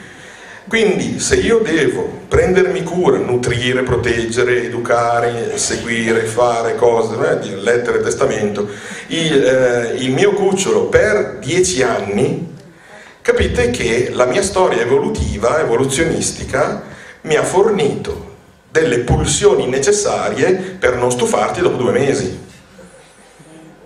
Perché se io mi stufassi dopo due mesi del bambino, la nostra specie sarebbe, non saremmo neanche qua a discutere, sarebbe già finita un, un sacco di tempo fa. Ora, questa pulsione molto forte a prestare delle cure parentali insieme a tanti altri comportamenti dell'Homo sapiens sapiens, questa etologia non è... Che cosa comporta questa pulsione fortissima?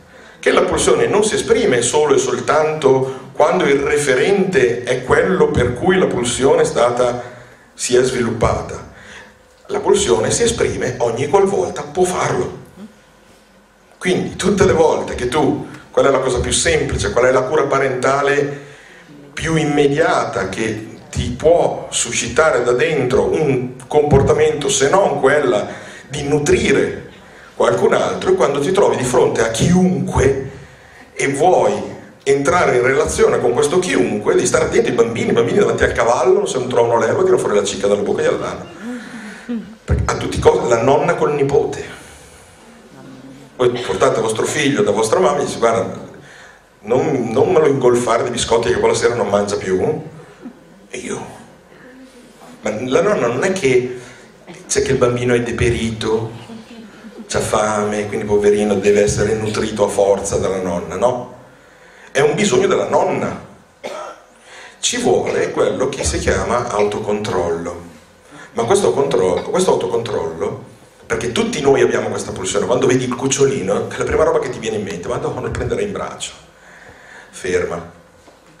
La nostra pulsione deve essere educata. Cioè io devo sapere quando smettere di rincoglionire mio figlio di biscotti, devo sapere come, cosa è meglio per lui, che esperienza deve fare e quella mamma che guardava il suo cucciolo in difficoltà e lo stava osservando, stava anche lei aveva l'impulso di dire è la mamma, è quello il cucciolo, ma lei sapeva che quella situazione richiedeva che il cucciolo facesse un'esperienza. Se l'andava ad aiutare, non l'avrebbe fatta quell'esperienza e il cucciolo non avrebbe acquisito qualcosa di molto importante per lui. Ora noi questa, questa capacità di autocontrollo l'abbiamo persa eh, generalmente nella vita, perché, adesso non stiamo qua a fare discorsi troppo strani, però soprattutto con i nostri cani. Alle volte quando io lavoro con dei clienti che hanno eh, il loro cane, poniamo una situazione problematica, perché io voglio vedere come, quali sono le competenze del cane e la capacità del cane di riflettere su un problema, ma dopo un secondo che il cane è davanti a un problema ci sta solo pensando, se non mettono le mani in mezzo per aiutare il cane, no, non riescono a resistere, pensando di fare del bene al cane e lo stanno distruggendo. Non consentono a una creatura di vivere. Il punto è che eh, è necessario che se la risposta è io tutto questo impegno che sto mettendo lo voglio mettere perché l'obiettivo è quello del bene dei cani, mi devo chiedere prima di tutto qual è il bene dei cani, a prescindere da quello che penso io. Ed è necessario che persone esperte, che conoscano i cani, che sappiano farci vedere delle cose, che sappiano mettere in luce determinate cose, che ci sappiano trasmettere delle esperienze, diventino i nostri referenti. Non possiamo inventarcene le cose. Se io volessi allora, come vi ho detto, nella mia realtà i cani di quartiere o comunque diciamo sul territorio l'ho vissuta solo quando ero molto piccolo, perché quando ero piccolo io, Casirate Dado, ovviamente prima della 281, eccetera, eccetera, i, i, proprietari di cani, a parte che erano tutti contadini, quindi i cani erano in, giri, in giro da soli, cioè liberi, e, ehm, in più i proprietari che si erano spostati dal lavoro della campagna al lavoro nelle fabbriche, e quindi avevano la casettina in paese il loro cane di giorno quando loro andavano a lavoro lo lasciavano in giro. Quindi noi ragazzini che giocavamo per strada in ciabatte eravamo seguiti dal numero di cani. Dipende se andavamo dal panettiere a prendere la focaccia erano tutti lì eh, quindi questa esperienza io l'ho vissuta quando ero piccolo ma se io dovessi gestire la situazione del randagismo nel sud io andrei a casa di Michele e gli direi adesso io vengo con te per un mese, due mesi, tre mesi mi fai conoscere questi cani, perché lui lo fa da tantissimi anni, ha una montagna di video su queste cose, cose che io non ho. Non pensate che i cani sono tutti uguali, quindi tu hai imparato una cosa, la puoi riportare su qualunque cane, non è così. I cani sono individui, dobbiamo cominciare a capire che sono degli individui non sono una massa informe eh, e omogenea, sono individui che stanno nel mondo in un modo diverso. Per imparare a vedere le differenze e a capire i bisogni è necessario allenarsi, non è una roba che abbiamo naturalmente, perché l'abbiamo persa, perché viviamo in un mondo sterile, esattamente come quei canili che probabilmente fra un poco faremo. Cioè, io nel mio libro Canile 3.0 parlo in modo particolare del lavoro di un canile che favorisce le adozioni, perché per me le problematiche sono due. Uno, non sono di più di due, però sono diciamo tre aspetti. Uno, diminuire il tasso di abbandoni, gestire questa cosa, perché è un'emorragia continua. L'altro è migliorare le competenze di chi lavora nelle strutture o chi, io parlo di strutture perché nel nord ci sono strutture, come torno a dire, non ci sono eh, cani eh, in giro e tre, aumentare l'ingresso dei cani nelle famiglie. Il benessere di un cane non è stare in un bel canile, non è quello, ma neanche nella villa col giardino, è stare con la persona giusta, con le persone giuste, con la famiglia giusta, che potrebbe essere una famiglia di cani e non di persone, nel caso appunto dei cani che, di cui ci parlava Michele. Ma io, eh, siccome devo stringere tantissimo, giusto? Io eh, volevo fare un, un discorso abbastanza, spero di essere abbastanza veloce per farlo, perché c'è una cosa che vorrei, vorrei dire, porca miseria, adesso... No, ok, c'è una cosa che vorrei dire che è questa allora, immagino che le persone che sono venute qui stasera abbiano tutte a che fare con i cani, in un modo o nell'altro, in modo particolare probabilmente con il mondo dei, cani, dei canili o dei cani eh, rinselvatichiti o randagio sul territorio. Voi molto probabilmente, come, come me, siete nella vostra famiglia, quindi i vostri genitori, parenti, amici, voi sarete quelli dei cani, se sarete indicati come quelli dei cani no? quelli che puzzano sempre di cani, hanno i peli addosso e se non, la domenica stanno tutti a tavola non arrivano mai perché dov'è? È in canile, dove che sia. Poi quando arriva vatti subito a lavare, buttati via, dai fuoco ai vestiti, di solito questa è la cosa. Eh, io immagino che anche a voi, se siete tollerati nella famiglia, alle volte siete anche appoggiati o spronati, non sempre, alle volte siete... Eh, siete tollerati ma incompresi, alle volte siete boicottati, quindi poi ognuno di voi farà le scelte nella sua vita. Però sicuramente alla maggior parte di voi c'è stato un giorno che qualcuno vi ha detto, ma con tutti i problemi che ci sono nel mondo, te con sti cani, cioè, hai un po' rotto, hai rotto le scatole. Cioè, con tutte le problematiche più importanti che ci sono nel mondo, te che stai a perdere, va bene, i cani, belli, sì. Classico le persone che ti dicono, sì, anche a me piacciono i cani, finché stanno lì, sì. Però te, insomma, stai esagerando un pochino, no? Vi, vi è capitato anche a voi sulla me? No, è capitato a voi, ok, perfetto. Allora, io adesso non, non, ognuno di voi avrà le sue motivazioni per per nutrire la propria passione per i cani o il proprio eh, desiderio di fare la sua, la, la sua, opera o insomma quello, quello che è. Io eh, vorrei invece farvi riflettere su un aspetto che secondo me è una riflessione che mi dà un buon motivo per capire quanto sia importante eh, dedicare energie, che energie che sono eh, denaro, tempo, eh, cognizione, ai cani. Adesso parlo di cani.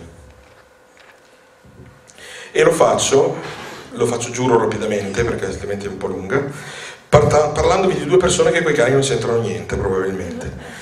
Uno è Alan Turing, che probabilmente tutti voi conoscete quanto grande matematico, che è praticamente il padre dell'informatica, e l'altro è Philip K. Dick, che è uno scrittore di fantascienza due persone che ammiro tantissimo e cosa c'entrano queste coi cani e il fatto che io vado in canile? Vado... Eh, niente. Eh, c'entrano. Turing ha costruito questa macchina qui, il primo computer, era grande come un, un appartamento in pratica, e serviva per decodificare Enigma, una macchina che i nazisti utilizzavano per comunicare in codice tra di loro. Questa macchina che inventò Turing, il primo computer in assoluto, era eh, eh praticamente decretò la fine della guerra, quando poterono decifrare i codici del, dei nazisti. Però Turing è anche famoso per un altro motivo, per il famoso test di Turing. Cosa dice il test di Turing? Il test di Turing dice che eh, Turing si è chiesto, ma se io invento una macchina che fa calcoli molto velocemente, come faccio a sapere se pensa o no?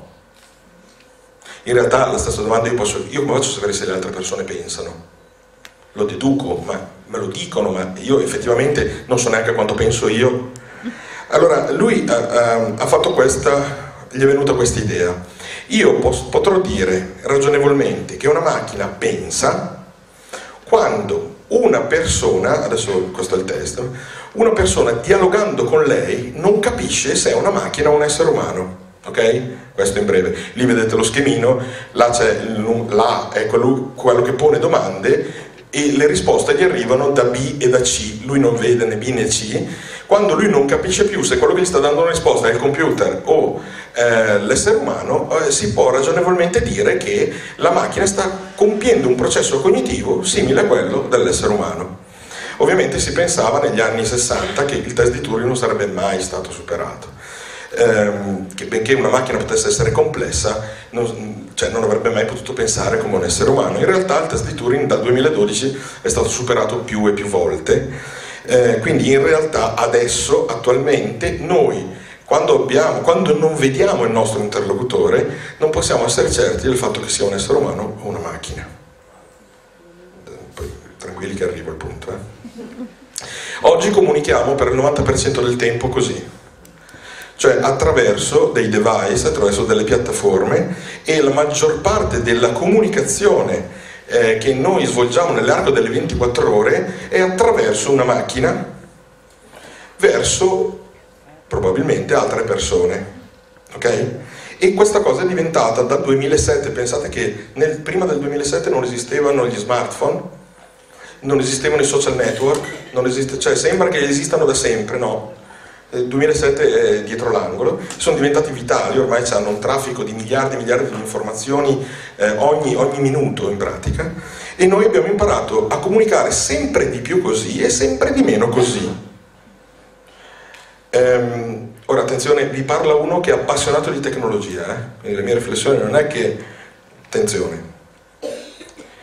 Cosa sta succedendo? Oggi eh, noi parliamo con le macchine e le macchine ci rispondono, sono sempre più intelligenti nel farlo, adesso siamo solo agli inizi, ma dovete immaginarvi che i logaritmi di intelligenza artificiale, gli algoritmi scusate, di intelligenza artificiale sono gli investimenti miliardari del giorno d'oggi. Google, Apple, eh, Amazon, eccetera, stanno investendo in miliardi perché la ricchezza andrà nell'intelligenza artificiale. Qua ci sono degli esempi, Siri, eh, Cortana e Google Now, che sono gli assistenti vocali tu dici delle cose e loro fanno delle cose e saranno sempre più intelligenti. Da questo dicembre appena passato è in commercio ehm, per la prima volta un visore di realtà virtuale. Cioè in pratica con la PlayStation adesso tu eh, non solo puoi fare dei giochi in un mondo virtuale, cioè tu ti metti sto casco, tu sei seduto su, sul water e puoi immaginarti di essere sul Grand Canyon, immaginarti, lo vedi, ti giri, lo vedi, lo percepisci, stanno costruendo delle tute che, che riproducono la sensazione sulla pelle, i rumori, i suoni, cioè tu vieni immerso in un'altra realtà che non è quella in cui tu sei seduto. Attenzione, perché chi progetta le realtà virtuali le progetta affascinanti, suadenti, fantastiche. Questa cosa si chiama realtà virtuale o VR e eh, anche qua ci sono investimenti miliardari, attenzione perché fra meno di 3-4 anni non esisteranno più i monitor dei computer. Tu avrai degli occhiali come Google Glass, non so se avete presente, su quelle lenti si vedranno le immagini che tu, si mischieranno alla realtà delle immagini che tu utilizzerai, si chiama realtà aumentata, per fare tutti i lavori che vuoi. Insomma. Quindi il computer sarà una roba grande così che tieni in tasca e gli occhiali che indossi è un mondo nuovo e ci sono mille implicazioni in questa cosa, sono già molto avanti. Eh? Ecco. Allora, perché ho messo questa foto? Cos'è questa cosa qui? Lo ricordate? Allora, nel 1936, faccio così perché se no mi ricordo la frase esatta, a Milano fu costruito il primo parco giochi per bambini. Le motivazioni che furono addotte per l'investimento fatto nel 1936, ve le leggo, il parco giochi nelle città moderne, cioè moderne nel 1936, cioè, capito? Guerra mondiale ancora, nelle città moderne tenta di colmare la carenza di opportunità di gioco libero all'aperto ed è anche una prima importante occasione di socialità al di fuori della scuola e di altre attività disciplinate cioè nel 1936 hanno capito che i bambini che vengono spostati dalla campagna alla città, a vivere in città, hanno bisogno di fare attività all'aria aperta senza bisogno di avere un adulto di controllo che disciplini tutte le loro attività. 36. Cioè l'hanno capito nel 36 hanno capito che noi esseri umani siamo una specie fatta in un certo modo e abbiamo bisogno di certe cose. E se adesso pensate dove sono finiti i parchi giochi, capite che cosa sta succedendo. Come mai adesso il parco giochi è dentro nel centro commerciale? Ma se le motivazioni erano quelle del 36. E adesso arriviamo a un altro punto. I computer oggi, gli algoritmi di intelligenza artificiale oggi sono in grado di autoapprendere, cioè non sono più programmati non c'è un programmatore che, deve, che, dice alla macchina cosa fare, c'è un sistema pensante che è in grado di apprendere da solo, esattamente come noi. Qui c'è uno schema, un articolo di un computer che impara a scrivere come un bambino, cioè prove ed errori imitando qualcun altro, peccato che lo fa in un'ora. Noi ci mettiamo un po' di anni ad arrivare ad acquisire la nostra scrittura, la nostra capacità. Lui in un'ora ha fatto tutto il processo, ovviamente, perché questo è l'articolo che compare su eh, un'intelligenza artificiale in grado di riconoscere le nostre emozioni e di comportarsi di conseguenza, come vedete lì la faccia di Alan Turing che viene richiamato. Questo non ve lo faccio vedere perché eh, non abbiamo tempo. E tenete a mente quanto abbiamo detto. Allora, parliamo probabilmente con delle macchine oppure con degli esseri umani, ma non possiamo più distinguerli, usiamo dei device per parlare con, es- con i nostri conspecifici, quindi parliamo sempre di meno così, stiamo sempre di più immersi nella realtà virtuale, non vi stupite dei caschetti, eh signori, perché tanto se andate per strada e vi fermate, la gente sta così, che differenza c'è quando starà così? ci vuole poco, e tanto oggi così vanno a finire dai tombini contro i pali, giù sotto le macchine, sotto i treni, così, così eh, sarà uguale. E questo passaggio è già avvenuto. Parliamo adesso di signor Philip Dick, scrittore di fantascienza, famoso, per, famoso perché ha scritto una marea di romanzi, è un genio. Io lo adoro Philip Dick, vi consiglio di leggere i suoi libri. E scrisse questo libro che si chiama Ma gli androidi sognano pecore elettriche? che tutti voi conoscerete sicuramente con il nome di Blade Runner, perché da questo romanzo fu tratto il film Blade Runner, che chi non l'ha visto ha già commesso un peccato mortale, come vederlo. Eh, il, eh, adesso vi spiego perché secondo me è un genio Philip Dick e cercherò di farlo nel più breve tempo possibile. Eh, in pratica, eh, in pratica, 5 minuti, in pratica Dick cosa dice? Nel film Blade Runner ci sono questi cacciatori di androidi. Gli androidi chi sono? Sono delle, delle macchine fatte a forma di uomo, identiche agli uomini, più forti, più intelligenti e che non sono distinguibili dagli altri esseri umani se non attraverso un test che lui si inventa, un test White Kampf, che praticamente è un test che i cacciatori di androidi devono fare all'altro individuo per capire se l'altro è un essere umano o una macchina. E questo test misura, so, la pupilla, la pressione del sangue, un sacco di roba, e questo gli consente di capire se sto dialogando con una macchina, altrimenti non lo posso capire. Ora, come si svolge il test? Chi, il cacciatore di androidi, pone delle domande e misura le reazioni empatiche dell'altro. Ora, se vi andate a vedere il film o vi leggete il libro, le domande sono tipo Trovi una testuggine del, del deserto rovesciata pancia all'aria, ma tu decidi di non aiutarla. Eh, ad una cena importante viene servita ai convitati, vengono servite ostiche, ostriche fresche. La prima portata del pranzo è un cane bollito. Hai una vespa sul braccio, cosa fai? Tutte domande così. Cosa, cosa hanno in comune le domande? Philip Dick ha capito una cosa che benché noi potremo costruire macchine perfette, migliori di noi, la cosa che non riusciremo mai a fare è riprodurre l'empatia degli esseri umani nel confronto degli altri animali. Cioè per Dick la differenza tra un uomo e una macchina oggi e in qualunque futuro è la capacità di essere empatico nei confronti delle altre specie animali. E in un mondo che, è già presente, nel quale non saprò più chi sono uomini, chi sono macchine, non saprò nemmeno se io sono un uomo o sono una macchina. Chi è quella creatura che ci sta di fianco da sempre, che non potrà mai essere ingannato da una macchina, come invece noi sì? Il motivo per cui noi ci dobbiamo impegnare tanto per i cani è perché loro hanno molte più cose da dirci sul mondo di quante noi possiamo dirne a loro. Il mio cane è quello che quando io rientro mille volte a casa è felice di vedermi, ma è felice come io probabilmente non sono più da un sacco di tempo. E lui è felice profondamente, senza mentire, ogni giorno, 20 volte al giorno. Secondo voi questa sua banale capacità che io, essere umano super intelligente, non riesco più a emulare, faccio veramente molta fatica a fare. Secondo voi in che stato ci pone?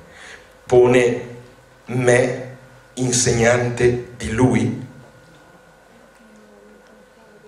Quando noi capiremo questa cosa, capiremo che aiutare, cambiare questa situazione, aiutare i cani è salvare la nostra specie. Loro ci dicono ogni giorno come dovremmo vivere, quella mamma che con i cuccioli ha tutto il tempo del mondo per osservarli crescere, per insegnargli delle cose. Mettiamoci noi nei panni, cosa facciamo noi? Negli ultimi dieci anni, no, quindici, sono fioriti gli educatori cinofili, gli psicologi per i cani e gli psicofarmaci per i bambini sono tutti iperattivi, ipersensibili, deficit dell'apprendimento, ansia da separazione, cani e bambini, ma come mai? Stanno nascendo cani e bambini sbagliati? secondo me, studiare il cane, osservare il cane, dare da mangiare a questa passione nei confronti di un'altra specie, ci può far tornare sui nostri passi e capire che ci sono cose che loro ci dimostrano tutti i giorni, che sono le cose importanti anche per noi. Non sono le meno importanti, sono quelle che forse cerchiamo di surrogare, di inseguire per tutta la vita e loro lo fanno tutti i giorni. E che diritto abbiamo noi di metterli in prigione per questo? Forse perché siamo invidiosi di loro? o forse perché ci rendiamo conto che non riusciamo a non portarli al nostro livello, a schiacciarli al nostro livello e allora pensiamo che tutte le volte che diamo un bocconcino a un cane lui se lo deve meritare, lui è un lavoro che devi fare, esattamente come io mi devo meritare lo stipendio, facendo un lavoro che magari non mi piace perché ne sono costretto. Quei cani lì fanno quello che gli piace e quello che gli piace è tutto ciò di cui hanno bisogno per vivere. Dovremmo ricordarci che potrebbe essere così anche per noi. Grazie.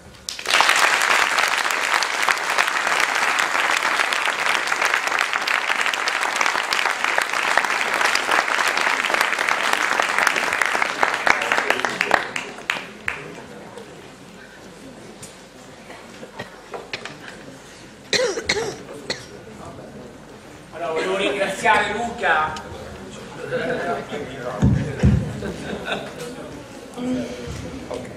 Allora, volevo ringraziare Luca per averci fatto fare questo viaggio nell'informatica soprattutto e personalmente lo ringrazio perché vedo che anche lui è un appassionato di Runner. Sicuramente un libro da leggere e sicuramente qualcosa da assimilare.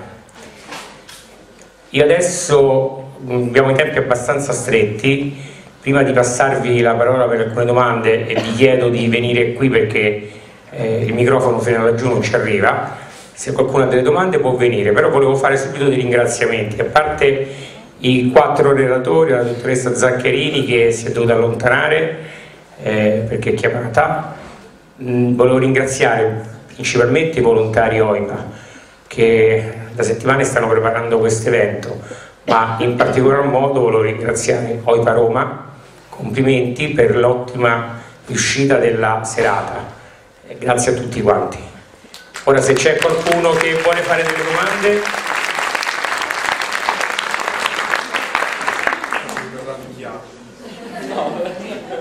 No, chi fa domande rimane qui a smontare tutta la sala.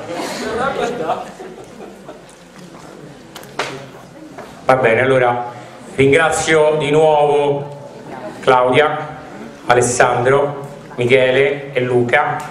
Ringrazio Rita, Claudio e tutti i volontari dell'OIPA di Roma. Ringrazio Alessandra Ferrari che eh, da dietro le quinte organizza tutto quanto e anche Daniela Brunetto che oggi si è resa disponibile per portare a spasso tutti quanti. Eh, se ho dimenticato qualcuno me ne scuso, Grazie a tutti quanti, buona serata. E ricordate che l'OIPA ha sempre bisogno anche di voi. Mi raccomando,